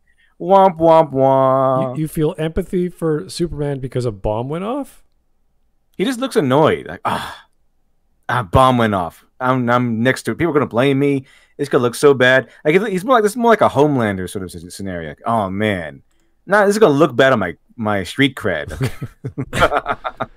That's what it boils down to. I don't know. I, I, I don't feel sorry for Superman. I'm like, wow, that's pretty tragic. Uh, Superman, think- don't you have like a, enhanced reflexes? Couldn't you have like sensed that after? Like the speed of sound would have hit your ears first, and then you're like, what was that? And then you turn around at super speed and you go towards the explosion because you're freaking invincible. it almost feels like he, he wasn't even paying. any- He was just standing there, and he just kind of the bomb went off. He didn't notice, and he's, he's thinking about what should I pick up from the groceries after this. I need some milk. Uh, maybe some of those muffins that Lois likes. Uh, he's like, oh no, there's a bomb went off. That's what it looks like. If this actual actual Superman, he'd be, you know, looking like con- really concerned, like, oh no, something just happened. He would look Yeah. way more concerned than this was thinking of his shopping list in his this, head. this was like a few meters away from him or something, and he couldn't, like, he didn't care. It's like, okay, all right. Great, great hero story. Thanks, Superman, for doing nothing. This man, this kid from Kansas, who just wants to do the right thing. Uh, no, he doesn't because he just stood there. That's not the right thing. Doing nothing is not what a hero does. He acts. He acts. stood there looking annoyed. Yeah. Well, I guess this hearing's over with. I guess I can go home now. This guy makes mistakes. He fails to recognize the obvious. He constantly shifts his focus and hastily jumps at chances to do what he thinks is best. Oh, oh, so he's not Superman then? You're, you're telling me a different story. This is not Superman. This is some other guy who's from Krypton who makes mistakes. He is superhuman. He can move really, really fast. He's indestructible. He wants to help people, but he just sometimes doesn't. Oh, and he blows up buildings. Therefore, I forgive him. Like, no, sorry. only to have really blow up in his face. Sound familiar? Despite not having most You of the mean like lines in the movie named the, after him, the DCEU, like the DC Cinematic Universe, that blew up in their faces. Yeah. Yeah, maybe. I, I wonder why things aren't working out. I know. Let's reboot Suicide Squad again. That'll work. Uh, hopefully. Who knows? the way that the film his character is really something special. He's a reflection of you, No, of he's me, not. Of the viewer.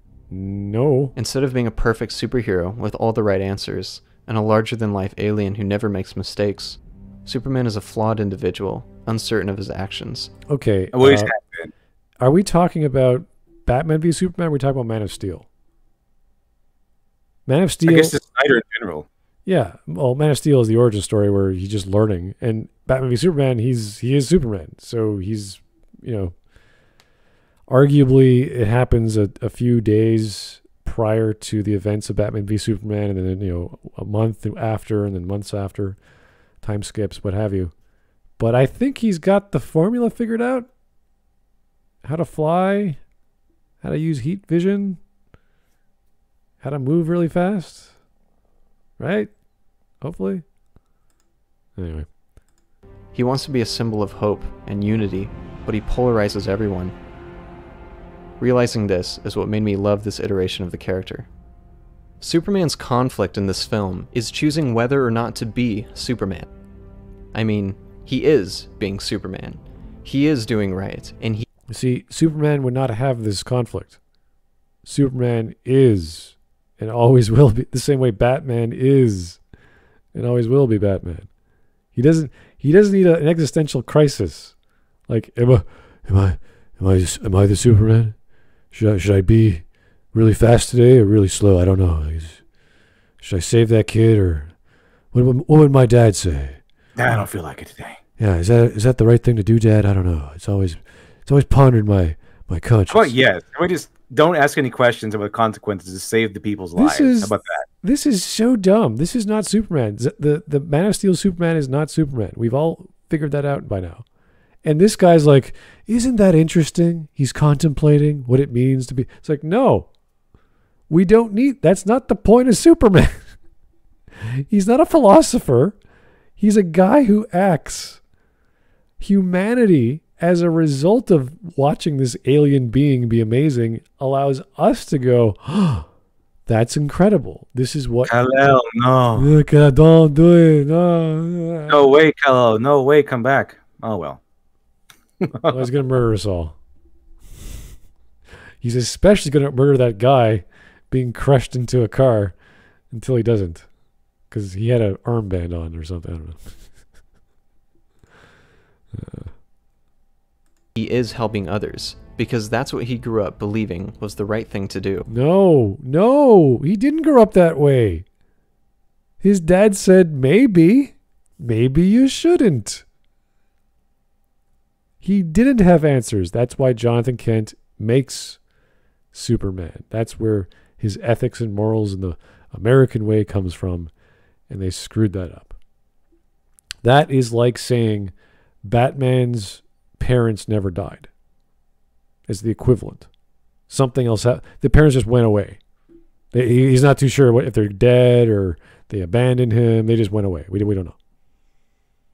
It's like, oh, What? They're just gone now. yeah, they're just gone. We don't know. They're just out of the picture. They never. They're just not talking to. to they're so, they they just left some money with Clark or sorry with with uh, with Bruce like a few billion, and they took the rest and they just bought an island and no one heard, heard from them ever again. Like uh, uh, Superman's dad was supposed to be his moral mentor. That's what it's supposed to be. His because Superman had all, all kinds of power already, but the morals is what defines Superman and Superman. You can have a bunch of characters in the DC universe that have these awesome powers and with large roster powers like Superman does. However, however, uh, Superman his thing is the morals, and his dad was supposed to be his moral mentor because he already had power. Yeah, and they screwed it up. They they went. I don't know why they went for the philosophical approach, or sorry, the the doubting approach. Because even as a kid, he was reading Plato, and if you ever read Plato, I don't care what flavor of Plato, whether it's Socrates' Plato or anything really, it's very pro life. It's very like good is pleasurable and pain is is bad. Like everything is very cl- clear. Yes, there are some uh, arguments on what it means to be wise and what the virtues mean and all those wonderful arguments. But if you're reading Plato, and I recommend anyone getting into philosophy to read Plato just because it's easy to read, you feel really good. You feel like, oh, this this is why we contemplate stuff. This is why we have metaphysics, why we think about the, the, the, the reality. It's not because we're bored and old and tired and we have nothing better to do with our lives. It's like this is how we enrich ourselves. This is how we become better people. And ultimately, Aristotle said that the the the things I gain from philosophy is that I learn how to behave in society without having to have to be taught that. Because you rationalize good behavior. You understand that is the end result. So if if you're a kid and you're reading Plato, that's awesome. But what you would get from that is to do the right thing. To be good. And it's it's very clear in Plato, it's very clear in Socrates' Plato. It's, it's a lot more difficult when you talk about uh, Aristotle with Nicomachean ethics. It's a lot more detailed, of course, because Aristotle is much different. But I, I can't think of one philosopher where it's like, even Machiavelli uh, would say, you know, do the right thing because it benefits you. And as a result of benefiting yourself, you benefit others. So uh, I, don't get it. I just don't get it. It's, it's, it's a twisted image of Superman. Here's Mike Testa. Hey, Mike, quick question. Is Batman the long Halloween good? Yes. Go for it. Some people love it and think it's the best. But th- there's lots of really good Batman stories. So, anyway, back to the video. The conflict is when the world responds by hating him, rejecting him, and not wanting the Superman. His conflict is between choosing to 100% commit to being the Superman, or to walk away from it and live in peace. As Martha No, no, it's not. He's doing he's doing both. That's not the, that's not what the Superman I got from the movie. I don't know what Superman you were watching. Th- these are just scenes in the movie. He's there's no conflict here. His mom is like, uh, Clark, you don't owe these people anything. It's like, thanks, thanks, mom. I get. Thank- okay, I know you're my mommy, and you're looking out for me. but uh, bigger, bigger things than trying to protect my ego. Thanks. It's okay. And if you and if you read into that and you think that's what the theme of the film is, or, or the conflict with Clark is, you're you're holy crap. Are you missing what's happening in the film? It's kind of like the TLJ where Yoda spells out the theme to everyone. Oh yeah, it's about uh, failure. It's like, oh, really? Oh, failure again, huh? Interesting. I didn't know that. People fail? Fuck me. Oh, Jesus Christ. Oh, I'm glad you, Uh, I, you I'm didn't glad you, me. see- me that I never fail, so I'm, I was wondering. I could never figure that one. I, you mean Rey was just doing everything right, and everyone was doing everything right? Oh yeah. tell you who the greatest teacher is, because that's what Luke needs to learn, even though he learned that already like three times. Okay, when you're a Superman and you can move faster than sound, you can do many things, like have a life. Ah. The Kent said, Be their hero, Clark. Be anything they need you to be. Or be none of it. Yeah, th- this is this is not this is not the Kent household. I'm very sorry. Martha Kent and Jonathan Kent would never say that. It's the strangest thing. Because it's supposed to be do the right thing. Like you get out there and you save that boy, son. You get out there and you save him. You save You- those kids in that bus. You are my son, and you're going to do the right thing, or I'm going to disown you. You have all this responsibility, and I want you to see it through the end. That's what teaching morals is. It's not you. You can be the, you, you can do the good thing or the right thing if you want to, son. Uh, Well, only if you want. No, it's you get out there, you do the right thing, son. You go with there and you apologize to that person right now. That's what you have in like traditional dads. Yeah, this is this is like jo- joining the military, and your drill sergeant going, "Do everything I taught you to do, or you know, don't leave." It's like, are you supposed to be encouraging me, sir? That Doesn't make any sense. Like, what do you? That's how the force works. you want me to be here or not? I don't know what's going. on. Oh, jeez. All right. Here's Vladimir. Hey, Vlad. Remember when Superman committed mass murder of all the unborn Kryptonians? he has the, the codex of every possible genome of the Kryptonian heritage in his body or something. And I'm like, oh, what does that mean? I don't know. It was a plot point back in Man of Steel, but they just forgot about it. It's like you could you could bring back your race. You could, you know, bring wonders and miracles to to, to the galaxy. It's like, nah. I'll just hook up with my reporter friend and, and contemplate being Superman and beat up a man who's in armor. Like, okay. That's much more interesting. beat up bad guys. That's what I'm going to do now. Is Yeah. beat up bad guys. Not going to contemplate anything. It's going to just go around beat up bad guys and save kids from trees or whatever. Uh, and you know, in the comic book, in the comic universe, Superman actually has that opportunity. He finds like a this lost city of Kandor or something like that, and it's like a little city from Krypton that Yeah. he keeps around and alive and everything in order to bring him back one day. because of uh, Brainiac captured it and miniaturized it, and he doesn't know how to bring it back to real space. And yeah, yeah, it's uh, it's one of those odd, cool. Like it's it's a way to keep Kryptonians contained, but still have a tie to to Krypton in a way, without uh, breaking too many things. Because then you have a bunch of Supermen running around. Like, oh my god, how do we control this? So they do a few weird things with uh, Krypto the dog and a bunch of other weird stuff, but you know that's just writers being goofy. You don't know this world thing. You never did. Yeah, just let the world burn. Who cares? Uh, You know, I don't care. You don't care. No one cares. We're a bunch of nihilists. Who gives a shit?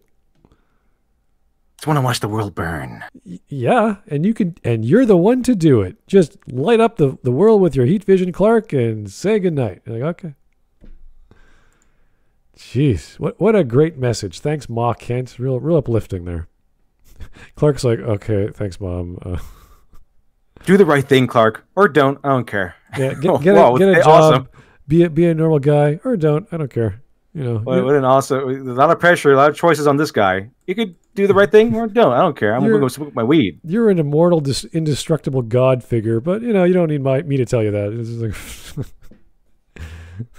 please have pity on us, oh God, or not. You know, whatever. It's your thing. you feel like it tomorrow, maybe maybe Thursday. That's that's a good day for you. Good day for me. You know. Uh, I'd like to have my farm still tomorrow. Can you, can you do that for me, Clark? Keep, not not burn it. Okay. Go burn down the bank that I owe money to. Yeah. this is so dumb. This scene is so dumb. It's like, oh, did did the evil man hurt your fifis? Oh, do you don't you don't have to, Clark. Don't worry about that. That's okay. Just go off and fly into the galaxy and do something else with your life. I don't care. Jeez, be a mom for two seconds, could you? Holy crap. Vladimir Dragon, thanks for the 10. Remember when Superman said Krypton had its chance, then destroyed the ship containing all the embryos? That's totally something the Superman from the comics would do, right? Yeah. I don't know. This guy, it's like, look, look at this scene with with Ma Kent. Isn't she great? It's like, no, she's horrible. what are you talking about? We're in Bizarro Land. This isn't your Uncle Ben with great power comes great responsibility speech. This yeah, it wasn't a good guy. It, it wasn't a good mentor. It was a crappy mentor. Can you imagine? Can you imagine talking to Peter going, you know, Pete, just because you have power doesn't mean you have to use it properly. You can abuse it, you know. You can do whatever you want. You're, you're the guy, you're the top dog. What, what are they going to do? Punch you? You're strong. You're amazing. Was what's really funny about this part is that it wasn't really in the original story. It wasn't really his uncle like or Uncle Ben who gave him that advice. It's something he learned on his own because he went off and he was selfish. He got powers. He was selfish. He he got power and fame and everything because he's a kid. He was a kid that was bullied. He wanted to use that to get it back everyone, and he would help no one. He would help no one out except for his loved ones. And then he, he- in fact, that's how that's what happened. He let this this uh, this criminal go. He could have stopped him. He could have stopped this criminal running on the street and escaping the cop, but he didn't. And later on, we find out there was that same exact criminal who killed Uncle Ben, and that's how he learned that with great power comes great responsibility. That's in the original comic book. Yeah. So he learned this the hard way, but he learned it. Superman's like, oh well, you know, I just have a choice, I guess. You, you notice how they kept that in the story of both the, re- the reboots of Superman or Spider Man? Yeah, because it's important. It's, a very, very powerful message. It's very key, yeah. And we don't get that in Man of Steel.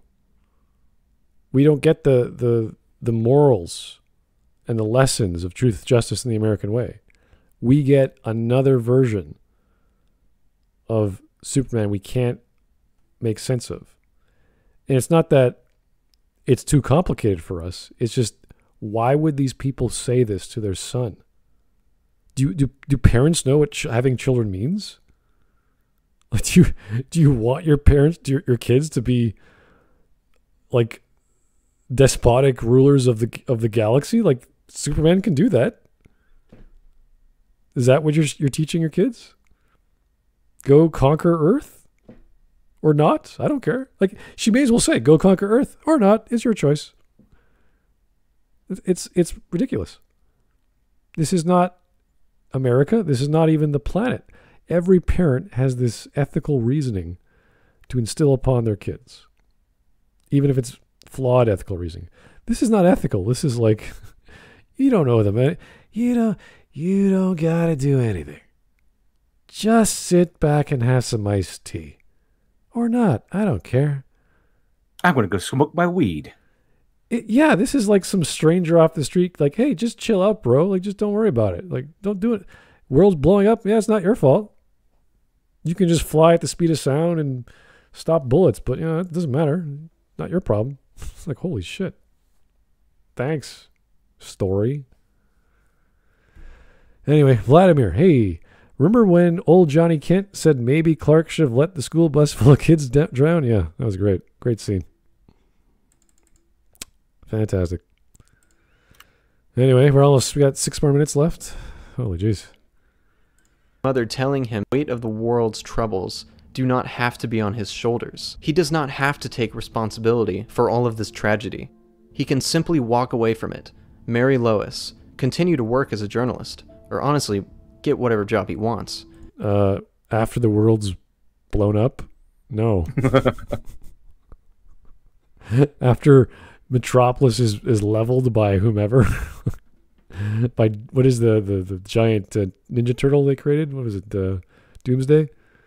It's like, uh, yeah, mom. Uh, I The can't. cave troll thing. Yeah, I can't run away from that, uh, ma. It's kind of destroying everything in its path, like everything.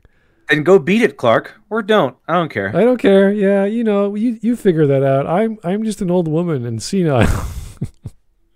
And what do I know? Maybe you should stop listening to me.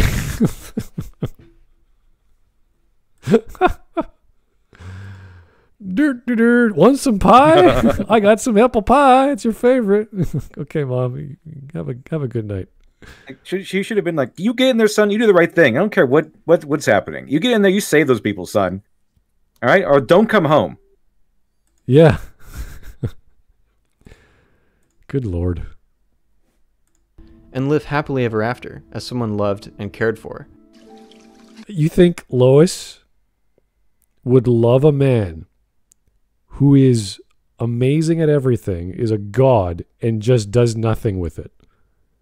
Do you seriously think that? I don't care how dumb you think Lois is.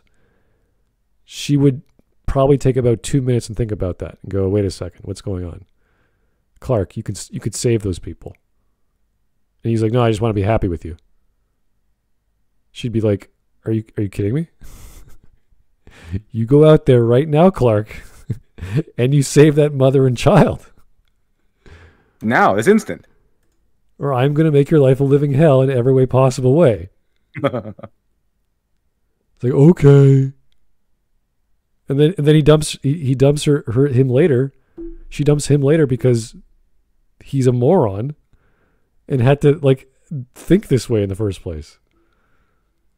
That's insane to have a, a big dumb moron who can crush you. Like that's that's dangerous. Holy crap. Vladimir, you're just you're just quoting the movie. Here we go. Remember when Superman told the preacher that despite living on Earth 99.99% of his life, he doesn't know if he should give humans a chance. yeah, growing up, going through school, high school. They they just skipped high school in the Man of Steel films. Just like what happened there, I don't know. There was some girlfriends or boyfriends or relationships. No, complete nothing. And no bond to any part of humanity. He read Plato, he worked on an oil rig, and he destroyed a trucker's truck. That's all that happened oh my god. Little angry petty Superman. Yeah, it's pathetic.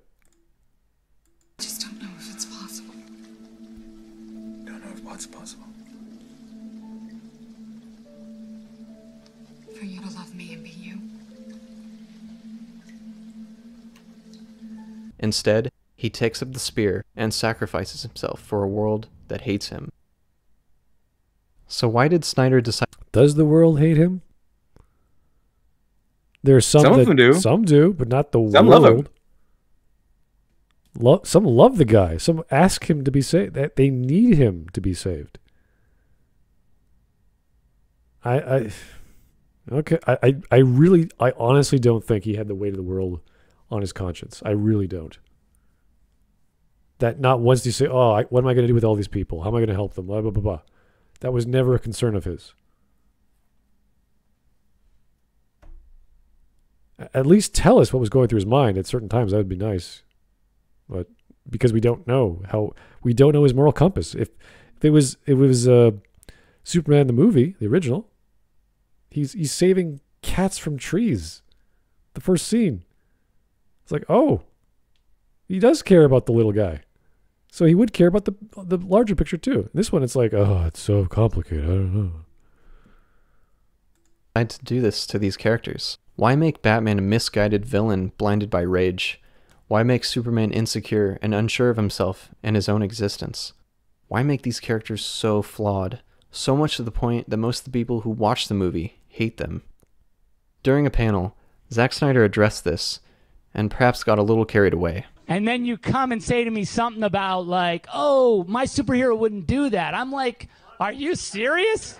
And it's a cool point of view. Look, Yes, I'm serious. 100% fine with it. There, it's a cool point of view to be like, "My heroes are still innocent," you know? Yeah, my but you're heroes stupid. Didn't fucking. I have the smart iteration of these heroes. Well, I would argue that Clark in Man of Steel and and even in Batman v Superman, I wouldn't say he's innocent. He's just really ignorant and naive.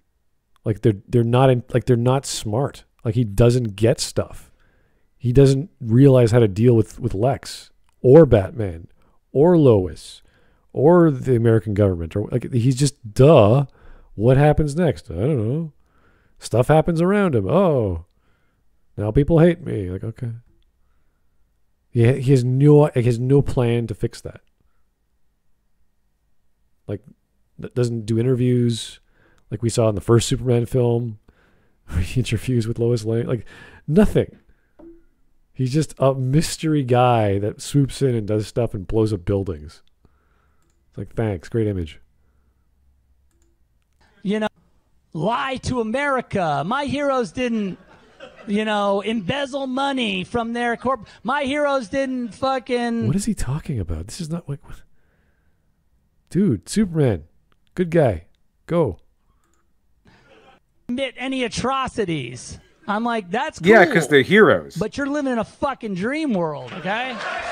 Yeah, it's called comic oh, books. Yeah, all your bosses clap. Oh yeah, heroes are dumb and evil. Yeah, heroes are evil. Thank you very much. Comic books- What what a, what a brilliant point of view, Zack, Zack Snyder. Heroes are Comic- evil. Fantastic. Yeah, the, the whole idea of a comic book is a fantasy. It's this magical world where people can fly, uh, you have impenetrable skin, and you can do amazing things. That is a dream. That is a crazy, crazy dream.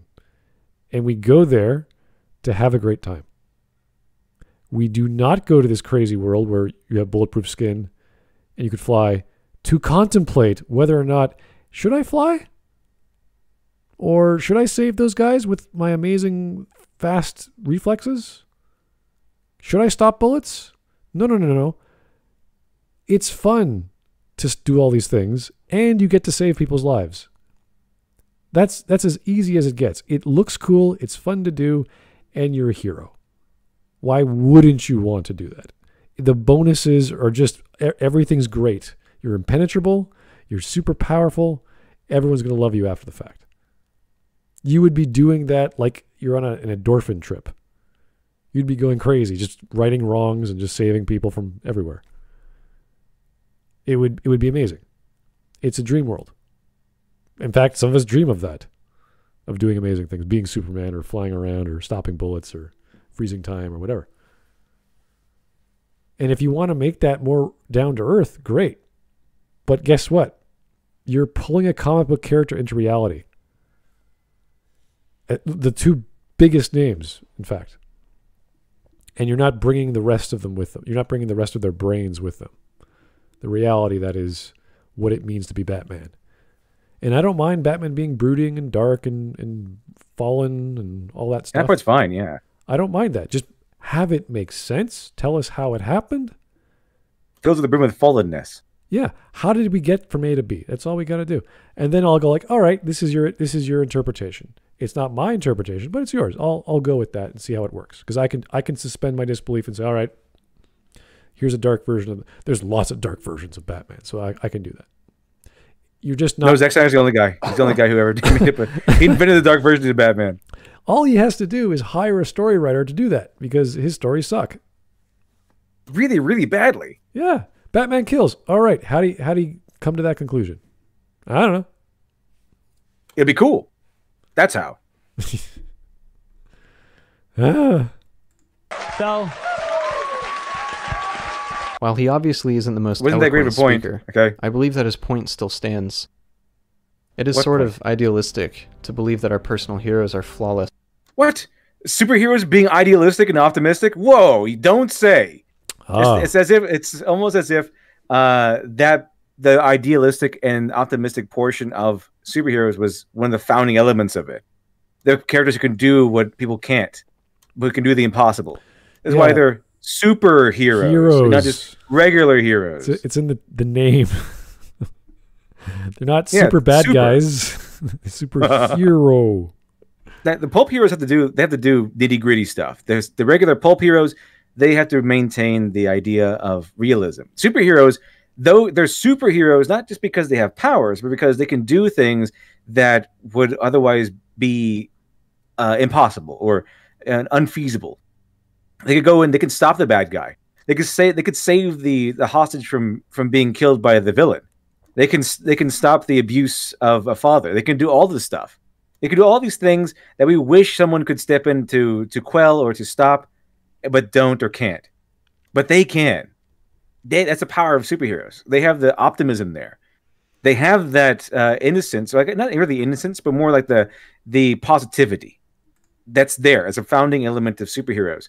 No matter how brutal they get, no matter how dark they get, even with Batman, there's still that optimism there. Where like, where at the end of the, at the end of the day, something good can happen. Maybe not everything works out well in those darker stories, but usually something great happens. And this usually comes from a guy who's not, it's not dark because the hero is dark. It's not dark because the hero is compromised or morally ambiguous. It's dark because the villains are dark. It's dark because these righteous heroes encountered these horrible situations. Yeah.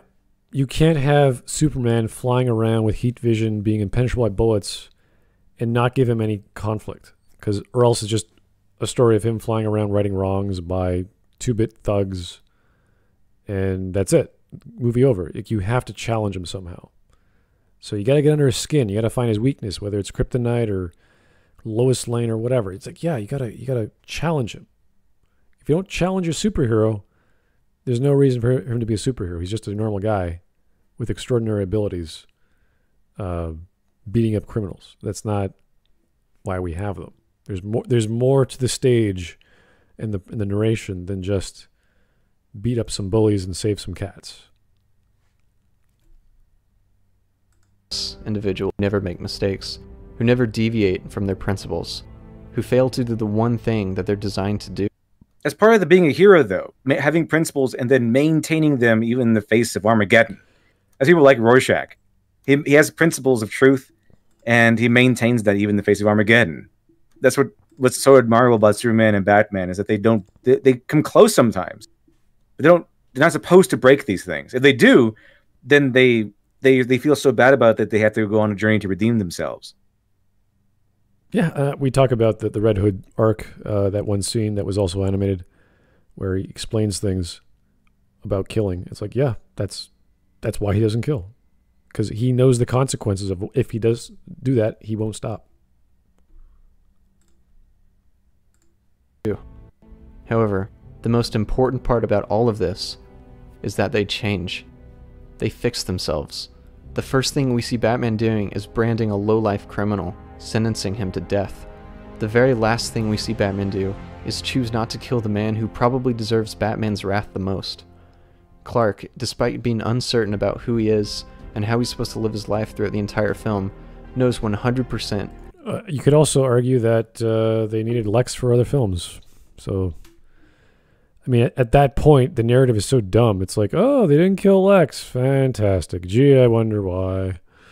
Oh yeah, he's a major villain. Duh, duh, duh, duh, duh. Gee, that could be it too. Like all this other nonsense to justify Batman's behaving differently. maybe he just wanted to. Maybe he just wanted to scare Lex. He's that good. He's that crazy. This, I mean, they could milk this franchise. Yeah, they better not kill the villain. Okay. that he loves his connection to humanity and thus chooses to sacrifice his life for them. That's a hero. By challenging the fundamental principles of these characters, that would make sense if we got the Superman that we wanted to have, the noble Superman who takes upon himself to save people because he's compassionate and loves everyone around him. The the Superman who takes it on the jaw and and uh, who believes in Santa Claus. That Superman, that one would be the Superman you're talking about, but not Zack Snyder's Superman who's just all brooding and just barely likes Earth. He, he- only defends Earth because Lois is there or his mom is there. Why does- Is it really? He, he just goes through the motions of being a hero because his parents want him to, not because he wants to. Why does uh, Clark dislike the Batman? I'm trying to remember. What's the problem? because he blames him for the destruction of, I think, Metropolis What- during no- the whole Zod fight. Why? No, no. Why does Superman hate the Batman? Why does Clark? Because Batman terrifies people and kills bad guys. I think. Okay, so he doesn't kill Batman because there wouldn't be a movie, and he says, "If I wanted you dead, I would have done it by now." it's like, so the next time we meet, you're gonna kill me? Like, And he almost kills Lex too. He's like, uh, if he would have killed Lex if Lex hadn't taken his mother prisoner. Yeah. It's all this it's this stuff where when you're a giant, you would not get angry at ants. Like that's the kind of mentality Superman should have. And he doesn't. He sees Lex as something, you know, greater than he is or whatever. Why else would he get angry? It's like, "Oh, you have my mom. Okay, let's figure this out." Uh, I'm gonna I'm gonna stall for time while I use my amazing sense of hearing to filter through thousands upon thousands of sounds and hear my mom talking like miles away or whatever. Like all there's all these things that could that he could have done, but no, no, he's he's got to get angry and be submissive to Lex and then go go go talk to Batman. That's the whole. That's the entire setup for the fight. It's the dumbest shit. Then Batman punches him. He's like, "Wait, wait, wait, hold on, hold on, hold on. Wait a minute, Bruce. Uh, I want to talk." And then punch, Batman punches him again. He's like, "Okay, that's it." And they, and they start to fight. Yeah, he just. It's like an ant tapping you on the shoulder. It's like, or it's like, what do you want, little ant? Oh, you, you want to fight me? Okay, well, let's not do that again. I want to talk to you. And he taps him again. Fine. He throws you across the room. it's like, come on, Clark, use your brain. All right, he doesn't have one. That's right. Think, Clark. Think. Ye- Yeah, yeah, that's a great meme. Oh, all right, we got two minutes left. characters. Snyder emphasizes why they are so damn important. Why Batman not killing is fundamental to his very Snyder sucks at everything he tried to do, except make the movie look good.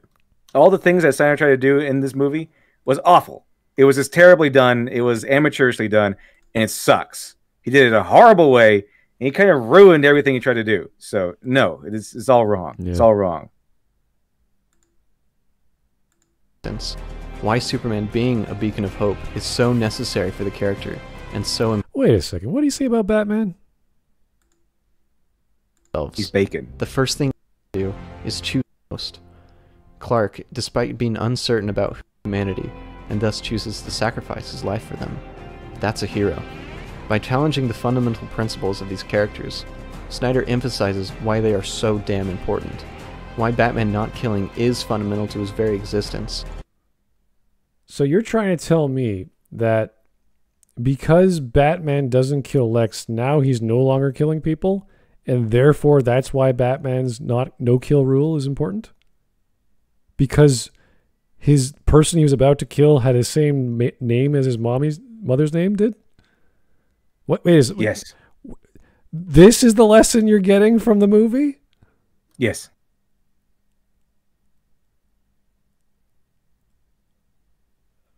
Okay.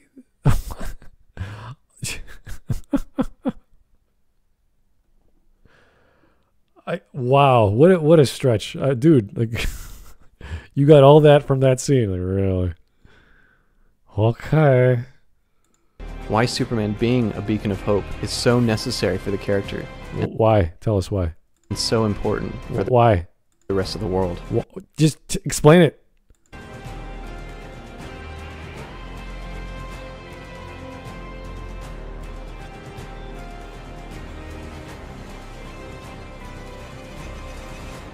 I, I don't like these open-ended generalized st- it's just dude a story should not be this uh, a superhero story should not be this uh, generalized it should be very specific what things mean and you should point out to why where that meaning can be looked at in a scene. Here's the scene where the the revelation is made, the climax is achieved, the character makes a choice, yada yada yada. Should be very clear. But you can't do that because you fight a giant turtle monster at the end. because you can't end the film any other way because it's been a bunch of bullshit till that point. You got to have a giant fight scene that to me proves there was not much thought put into this film for for symbolism and meaning if you're just going to fight a giant turtle monster that comes out of nowhere Almost literally, just they make he makes him out of nothing. This Zod's body and then a little bit of his blood. yeah it's that this big as Doomsday somehow. it's essentially a deus ex machina and it wasn't developed at all it's just like oh i'm going to use the spaceship and the thing and the stuff and i'm going to make a big zod body creature and that's going to kill superman for so like why how and now that's that's the thrust of the story Uh, it's it it has nothing to do with everything else that never came up I, it was supposed to be a fight between Batman and Superman, and that's it. Not all this other crap. Very strange all this works out. He's like, oh, yeah. Lots of meaning.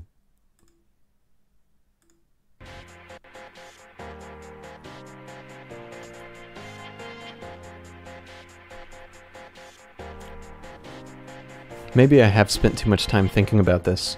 Maybe I've spent way too many hours talking, discussing, and arguing about fictional characters in a fictional world, and whether or not a superhero movie that came out five years ago is a good one or not. Maybe there's no point to any of it. Maybe. But maybe not. Why do I care so much about this? About The clicks. voicing my opinion on this? Does it go beyond wanting to defend a director's vision, justifying my own opinions on filmmaking as I delve further into filmmaking myself? Or wanting to give some love to something that I believe is well made? I spent a lot of time reading negative comments on my last video essay, and I didn't really want to do another one because of it. I want to keep making my own films, Probably because, writing uh, my own screenplays, and hopefully making a small impact on the world in the process. I decided to make this essay partly because I wanted to elaborate a bit more on these films, but also because I want other people to see what I see, to love what I love. So you want friends? Okay, I mean, fine. We're a social animal, but that doesn't justify making an essay for the sake of an argument. It's like, I did this because I want you to think like me. You're like, what? really? When I when I when I write books on uh, storytelling, I don't want you to think like me. But if you want to write and you think I have good ideas, hey, I have a book for that on how to express yourself. I dismiss his hypotheses. Yeah, this is this is a strange take. It's like I want to I want it to have meaning. I want it. Like, what do you mean? Uh, what- Just make it and take a step back and let the world do whatever it wants with it. That's all you got to do. I wanted to have meaning too. It just didn't. it's so biased, dude. Like all you got to do is sit down with one of your, your detractors and hear his words. And and just try to understand where he's coming from. Once you do that, you're like, okay, I see the logic of where you're coming from. Even this guy has logic. He's using it with a flawed premise, but he still has logic. So I can I can trace that logic and go, okay, here's your problem. This is this is the problem you have. Even though you think it's a problem, I'll explain to you why your bias is getting in the way of your thinking. Because once you do that, you you can show them their their faults. You can show someone's problem with their their built up argument. And if they still don't see it, I mean, there's not much more you can do once you explain and show a bias. Because we all have biases. It's nothing new. We all like and dislike things, and that's a bias. That distorts reality. Now, what we try to do with objective criticism, this is why I'm writing this bloody book now, it's so taking so long, is when we say we like something, we enjoy something, this is after we've gone through this rigmarole of, of critique, of what it means and how it means and why it's good. And yes, there are some sensationalistic aspects of storytelling and movies and books that go, okay, this is uh, this is the sex scene, this is the love making scene, this is the explosion scene. You know, it's like, ooh, that's cool. But we then say, wait a second, what does this mean? What's the value behind it? If it's just if it's just sensationalistic, then it's go, well, it's pretty surface level. It doesn't really mean much, unless of course the whole film or the whole story is an action packed extravaganza. Then that's the point. So you you your your reference for genre has to be understood. You can't just you can't just go into this film going, I know nothing about Batman and Superman and and superhero movies because we we have that. We've had Marvel, we've had Superman and Batman films for decades.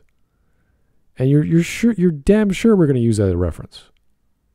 Has themes, Mudboy. It has the best themes. All the best themes, believe me, all the best themes. All the experts say so as all the best themes. It's great. Hey man, what why you got to be like that? Come on, man. I want to make my own movie about Superman. He's he's he's confused like he's confused like me, man. I, I, I, I can wake up in the morning. Sometimes I I put my, my pants on with the right leg first, or maybe Hairy legs? Maybe My was the- hairy legs? My yeah, my I got 'em- Yeah, I, I can't remember if the left leg or the the, the hairier leg is on the right. I, I don't know. Sometimes it's both at the same time, and then I'm really confused. But that doesn't make a difference. What matters. What was I talking about? Oh yeah. Every American is entitled to. Uh, Sup- Superman is is a symbol about Americanism. And once you know the symbol, you can be American. And you can you can kill or not kill Hopefully not kill. School bus full of kids. Superman. Who who is Superman? Is he, is he, does he have my salad? Super Salad Man? Is that what he is? I he's my waiter. I think his name was Clark. Yeah. Uh, hey, Joe, what was that guy's name last night? he was a nice, nice guy. Give him my salad. Anyway. How we're, we, we were told for four years that Trump is the the the, the, la- the laughing stock of the world, but we we actually seeing that Biden is a laughing stock of the world videotape. Uh, it's been downplayed, obviously, on the American uh, TV shows and, and, news channels, but I, I haven't watched it because I don't care. But it's just I, I, get clips on on Twitter. It's like, are you serious? He said like he he rambled for eight minutes. Are you serious? Yes, yes, he does all the time. Like, it was obvious right before he got elected. Like with, elected him anyway. With Trump, supposedly. he just writes obscure, ridiculous tweets. This guy thinks and speaks the craziest rambling nonsense. I'm like, I can't believe I'm actually looking at Justin Trudeau and going, you know, at least I can understand what the hell you're saying. yeah, I don't even know if Justin Trudeau has hairy legs or not. So that's pretty good. I, I don't want to know. oh God! All right, Dolomaticus. Hey, how's it going? The only thing I need to know about Snyder was this: he could see Batman getting graped in jail. The man is pretentious and overblown. Okay. Let's not go there. Uh, Vladimir again. you couldn't even get Lex his mech suit. Did you have to bring out Doomsday? Yeah. Well, honestly, if they brought out a mech suit, I'd be like even more confused because like, where the hell did that come from? I least, don't see this Lex having a mech suit. Yeah, no. At, at least with uh, Doomsday, you had like the magical spaceship goo and a bunch of other MacGuffins that did magical things. It's like, all right, fine, but it just came out so quickly like there's no build up to it. It's like uh monster time. Like all right. So I don't know. It, it could have been a lot. It could have been a lot worse. That's true. All right, we got a minute. Minute left. I want that community to say, I totally agree. Well done. But I also really enjoy the rare comments that said, Hey, I don't agree with you on this, but it's cool that you think this, and I'd be down to talk about it with you sometime. Maybe I'm rambling now. It's cool to connect with people, regardless of whether we agree or not. I'm sure that I will inevitably irritate All right, some yada, people, yada, yada, especially yada. with the. I don't care. Blah blah blah. That was two minutes of him going, "Oh yeah, I made this because I want friends, and I want to talk to friends." Even there are tons of people out there, are tons of Snyder people out there who just love everything he does, unquestionably. It's bizarre. I would just go talk to them. I would watch this film with him and pause every, you know, 20 seconds going, this is why this scene sucks. Let me explain it to you. There's some out there that go that they'll, they'll if Snyder if Snyder made raccoons assholes sauteed on a stick, they still love it. And some of them are like is exactly like no matter what it is, they just love what he does. Okay, well, three hours and twenty minutes, not bad. Uh, we rambled a bit there, had a had a little bit of fun because it was getting boring near the end. But holy crap. Man, what a fanboy. Whew. So, guys, read The Dark Knight Returns. It's a great comic, one of the best Batman comics out there. For the real Batman vs Superman, read The Dark Knight Returns. Yeah, see see if he actually kills anyone. Yeah, it's not hard to find. You know, look for bullet Spoilers. holes. Spoilers, he doesn't. Yeah, He doesn't kill anyone in the in the whole the whole book. Even though he's he's uh, what, what do you say, senile and and uh confused. I don't know. He's like delusional. Delusion, like delusional. Really? Batman's delusional. Really? Okay. I don't know. Don't think so. Not in that comic. No, he's pretty freaking hardcore. He's he knows what he's doing. So, all right, let's read one more super chat and get out of here. Hey, Vladimir, thank you. Uh, I consider the mech suit better because this way, too early to do the death of Superman. That's something you do on the fifth movie or something. Uh, it, it would work with the with the the kryptonite, I guess, but it, you'd have to build up to it. You can't just have him become Iron Man. You'd have Well, to. to be like- fair, they had, they had to build up to Doomsday, but they did. They still didn't. No, like if if you wanted the, the the subplot or the side plot to be Lex assembling like technology and figuring stuff out because he's a genius and he could do that, and uh, building a like a test like a. Uh, an anti-Superman suit or something like that. Like, how would I stop him? How would I control him? He's like, why don't I make a suit? Like all this stuff. As opposed Honey, where's my anti-Superman suit? Why do you need to know? I need to battle Superman. like something, something to protect him. Because all he was doing was just prancing around. Uh, I'll, I'll take a I'll take a uh, uh, a um, Samuel Jackson Lex Luthor. That'd be kind of fun.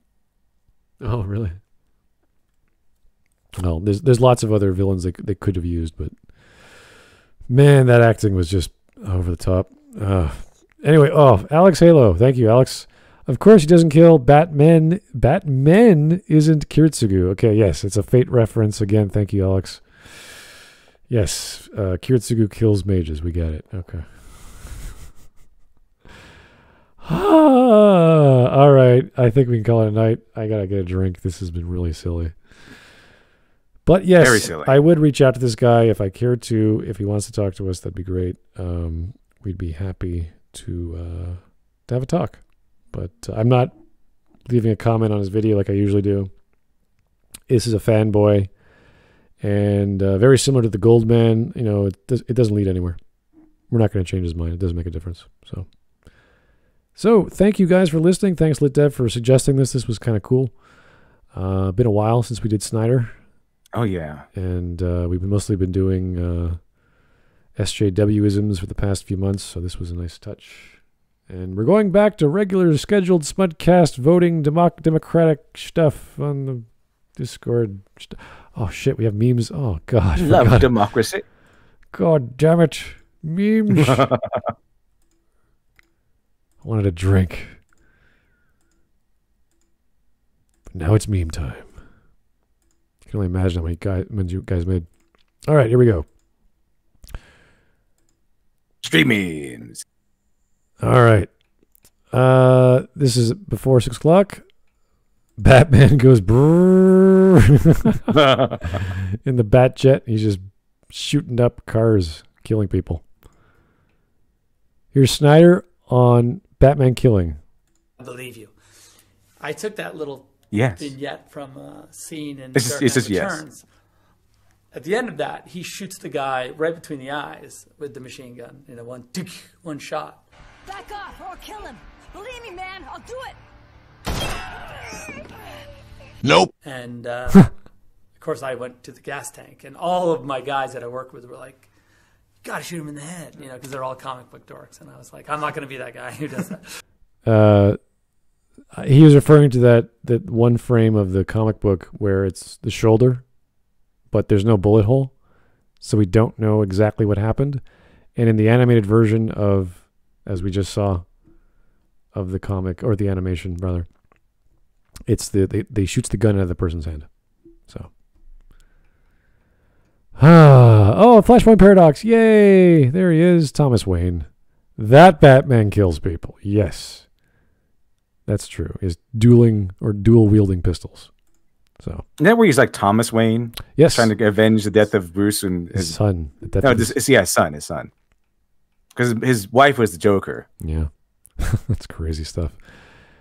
This is uh, Eric Taco Right, Eric. Uh, I was fighting at Cape Badass, but then we discovered that his mom is named Martha too. Deadpool too, yeah. Did, uh, did he parody that? I know I saw Deadpool 2. I can't remember all the jokes though.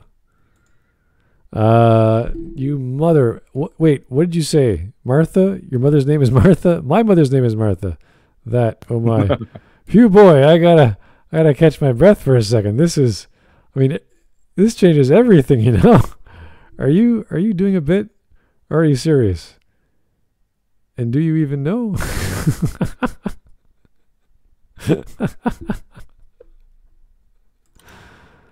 oh boy. Talks about Jurassic Park, scene not in Jurassic Park. Oh.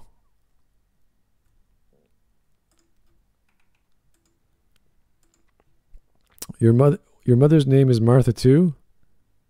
Onii-chan? You're my brother? uh, Mateus, uh, is a good scene, yeah. Da, da, da, da, da. Uh, the Dark Knight Redemption. Is that an actual comic book? I don't know. Uh, probably not. Uh, corporate needs you to find the differences between this picture and this picture. Uh, they're the same picture. Same picture. Superman and Batman. Oh God. What's your mother's name? Martha, Martha, Hippolyta. she throws Wonder Woman out the window. oh. Uh, Mateus, uh, marking you are watching movies wrong in the bingo card. Yeah. You need a big brain to understand Batman vs Superman. Yeah, there's Talosians from Star Trek. You need to look deeper to appreciate the story. Me. All these glasses. So many lenses.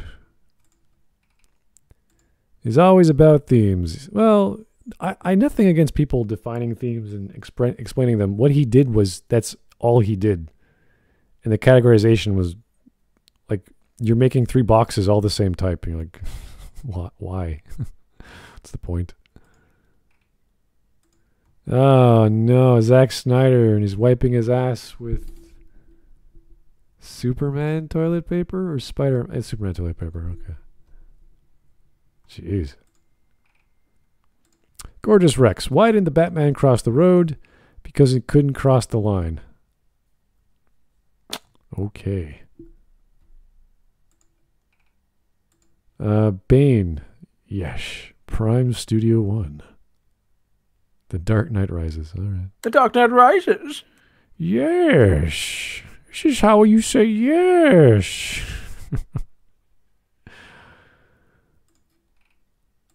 uh, Great Scott Superman. Uh, will you please listen? I'm not the Messiah. Zack Snyder. He is the Messiah. Oh, that's a great. That's a great meme. Fantastic stuff. Bravo. Great Scott. I like that one. Uh, what what do you call it when Batman skips church? Christian Bale. Christian uh-huh. Bale. Very nice. I like it. Uh, Zack Snyder, uh, you have failed the DC franchise. And this is the uh, Arrowverse, I think, or is that? I can't tell that's the Arrowverse Arrow or if that's the Smallville Arrow. They look very similar. Peter, oh, sorry, uh, Paul Verhoeven's RoboCop, Zack Snyder's RoboCop. Oh, just a lake of fire and Jesus Christ in the background. uh, so emotional. Their mothers share the same name. Yeah, it's, it's fantastic. What is that name? It's it's just it's so it's so dramatic, man. It's just hey hey man, we we got the same mom's name. Is isn't that make us brothers or something? You're my you're my brother. Uh, sure, sure, Mr. Brighton. That makes us brothers. Now give us, give me all your money. we- we're brothers from a from a different mother or something. Yeah. Zack Snyder, architect, themes, character, story, the leaning tower piece of stories at the bottom. Actually, he would if it was according to that guy, uh, he would have swapped characters and story for some reason. I don't know. He's he's an interesting guy. I would I would just talk to him about how he characterizes or categorizes stuff because I'm so lost. If Superman didn't say Martha, uh, Mr. Terrific. Oh, that's great. He'd have Superman's uh, outfit up on his glass box instead of uh, Robin's. Uh, Zack Snyder confirms Bryan Cranston was up for Lex Luthor and Batman v Superman. Oh my God! Thank God he didn't take it. We were on the verge of greatness. We were this close. Honestly, no. I'm glad he didn't do it. I really, I really don't think anyone should be affiliated with that film, especially Cranston. That would that would have been sad. Maybe when your mother's finished mourning your father, I'll keep her in black on your behalf. Oh my God. I'm sorry, mother. I failed you. Forgive me, Martha. Did he say what I think he said? We have to help him. it's dark, dark side.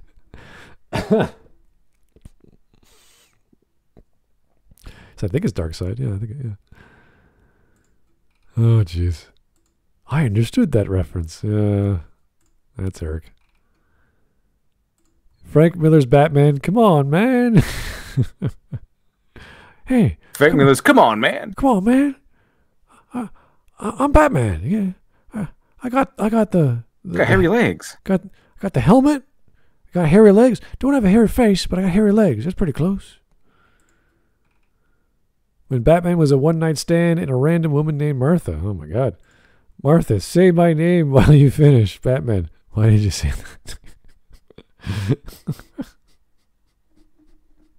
you see, to keep up appearances, eventually uh, Bruce has to go hang out with chicks and he just pays them off, so he hires a bunch of prostitutes. That's how that works out. Why Batman didn't finish the Joker. Batman has a line that he will not cross. It's a line of clowns. A Ronald McDonald clown? what the hell? Wait. Get a load think of Batman's fear is now clowns, I guess, instead of bats. Here we got uh, Chandler from Friends, and he's dressed up as the Joker. Get a load of this society. Okay. I believe these are your things. And it's the Joker. Sorry, the, the not the Joker, the, the Riddler handing. Oh, okay. So, yeah, it's the. Um, who's the actor that played uh, Lex in Batman v Superman, he would have been a better Riddler than Probably, Than Lex. maybe, maybe. It would would have been better anything than Lex Luthor. yeah. Lex Luthor's not that crazy, or not crazy. Period. Okay, how common is the name Martha? Records indicate five hundred fifty thousand girls in the United States have been named Martha since eighteen eighty. The greatest number of people were given this name in 1947 when 10,647 people in the U.S. were given the name Martha. Those people are now 73 years old. Oh, wow. Good good job there, Batman. Oh, boy. Putin not accepting the uh, Jolly Rancher. Yeah.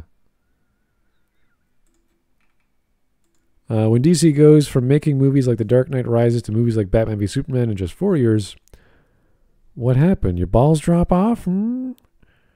what happened? Your balls drop off? All right. Oh, for some reason, I somehow felt responsible for these two. Oh. And that's the Justice Lord Batman or Superman holding up uh, Homelander. And I don't, I don't know the other guy. Who's that? Couldn't tell you. I think maybe Mark. Invincible? I don't know. Uh, yeah, I, I haven't seen it to know who that could be. Uh, did I move the laundry to the dryer? Actually, I don't know. I have no idea who that is. yeah. He's in weird this stuff. So here, here's the bomb scene in the Senate or the hearing. Yeah, what, what's what's going on in Superman's mind? I don't know. Just stand around.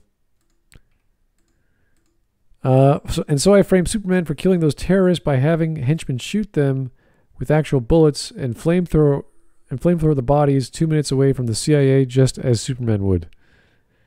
Yeah, not not the greatest plan.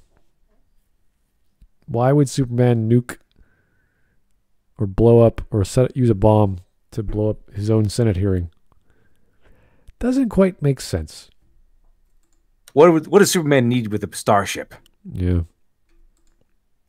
Some people watch movies, other people daydream while a movie plays nearby.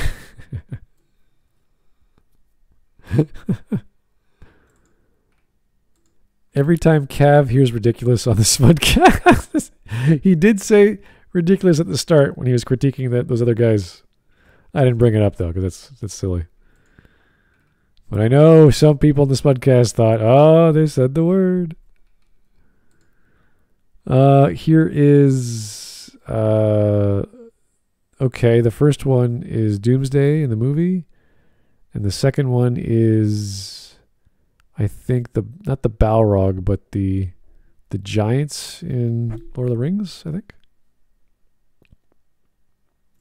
Don't know their names. Batman. They have a cave troll. They have a cave troll.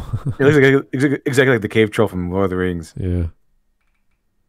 Still a better monster than Doomsday and Batman v Superman. I don't know what that is.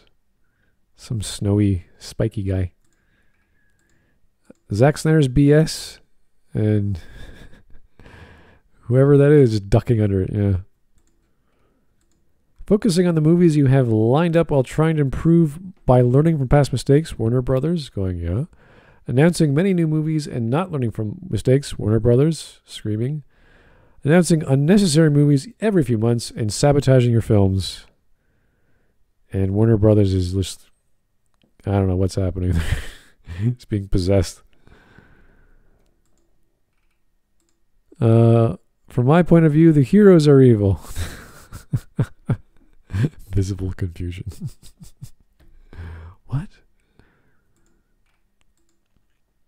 Zack Snyder finally explains the weirdest scene in Batman v Superman. Uh, when you have to warn Batman against killing people. what? Yeah, stop killing people, Batman. Yeah. Uh, logic, Zack Snyder, and then we have a good BVS movie. Oh.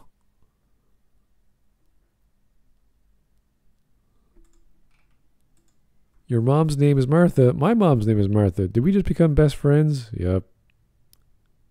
Isn't that great? My mother's name now is I'm going to best of friends. Here is this. Uh, is that the guy from Scarlett Johansson movie? Uh, Black Widow? I can't remember his name. David Copeland or something like that? My mother's name is Martha. It won't work, buddy. okay. All right. Thanos doesn't care.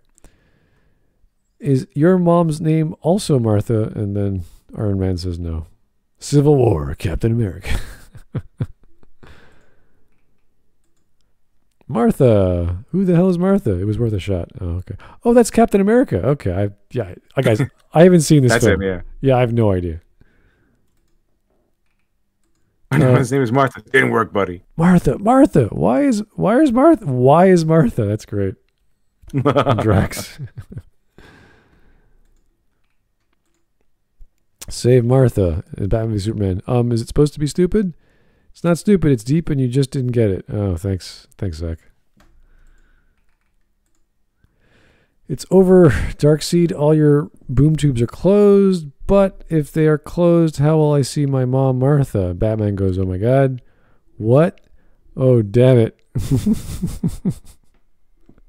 no.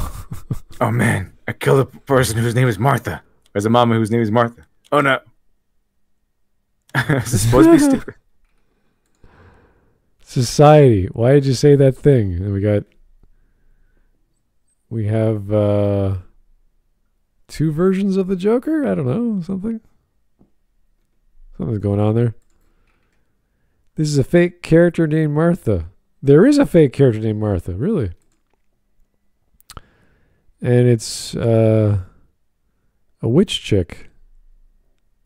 And it's Batman. He goes Martha. And we've got some orange haired chick in the background going, What the hell? I don't, yeah, I don't know. That joke is, as much as I know Fate, that I'm like, What the hell is going on there? All right. No, Alex, no more Fate. Yeah. I think we're done. That was Alex Halo. All those memes were Alex Halo. Holy crap. Lots of Alex Halo. Okay. A lot of fate. Now I need a drink. My throat is getting sore. Oh my god. Ah, thank you guys. Uh, thank you, uh, LitDev, for suggesting this. That was pretty cool. Yeah, no problem. Always nice to go through some crap takes and fuel my desire to keep writing my book. Because holy crap. Sounds good to me. Yeah, no, you, you gotta like it comes to a point. There's just it's so much crap, so much fanboyisms, so many biases. You just can't take it anymore. So anyway, thank you so much, guys. Keep these suggestions coming. We're gonna look at the uh, the voting for yet today as well for tomorrow. So don't worry about uh, uh, nagging the mods just yet. But thank you for everything and tuning in. Have yourself a great evening. Let's get a drink going. Have yourself.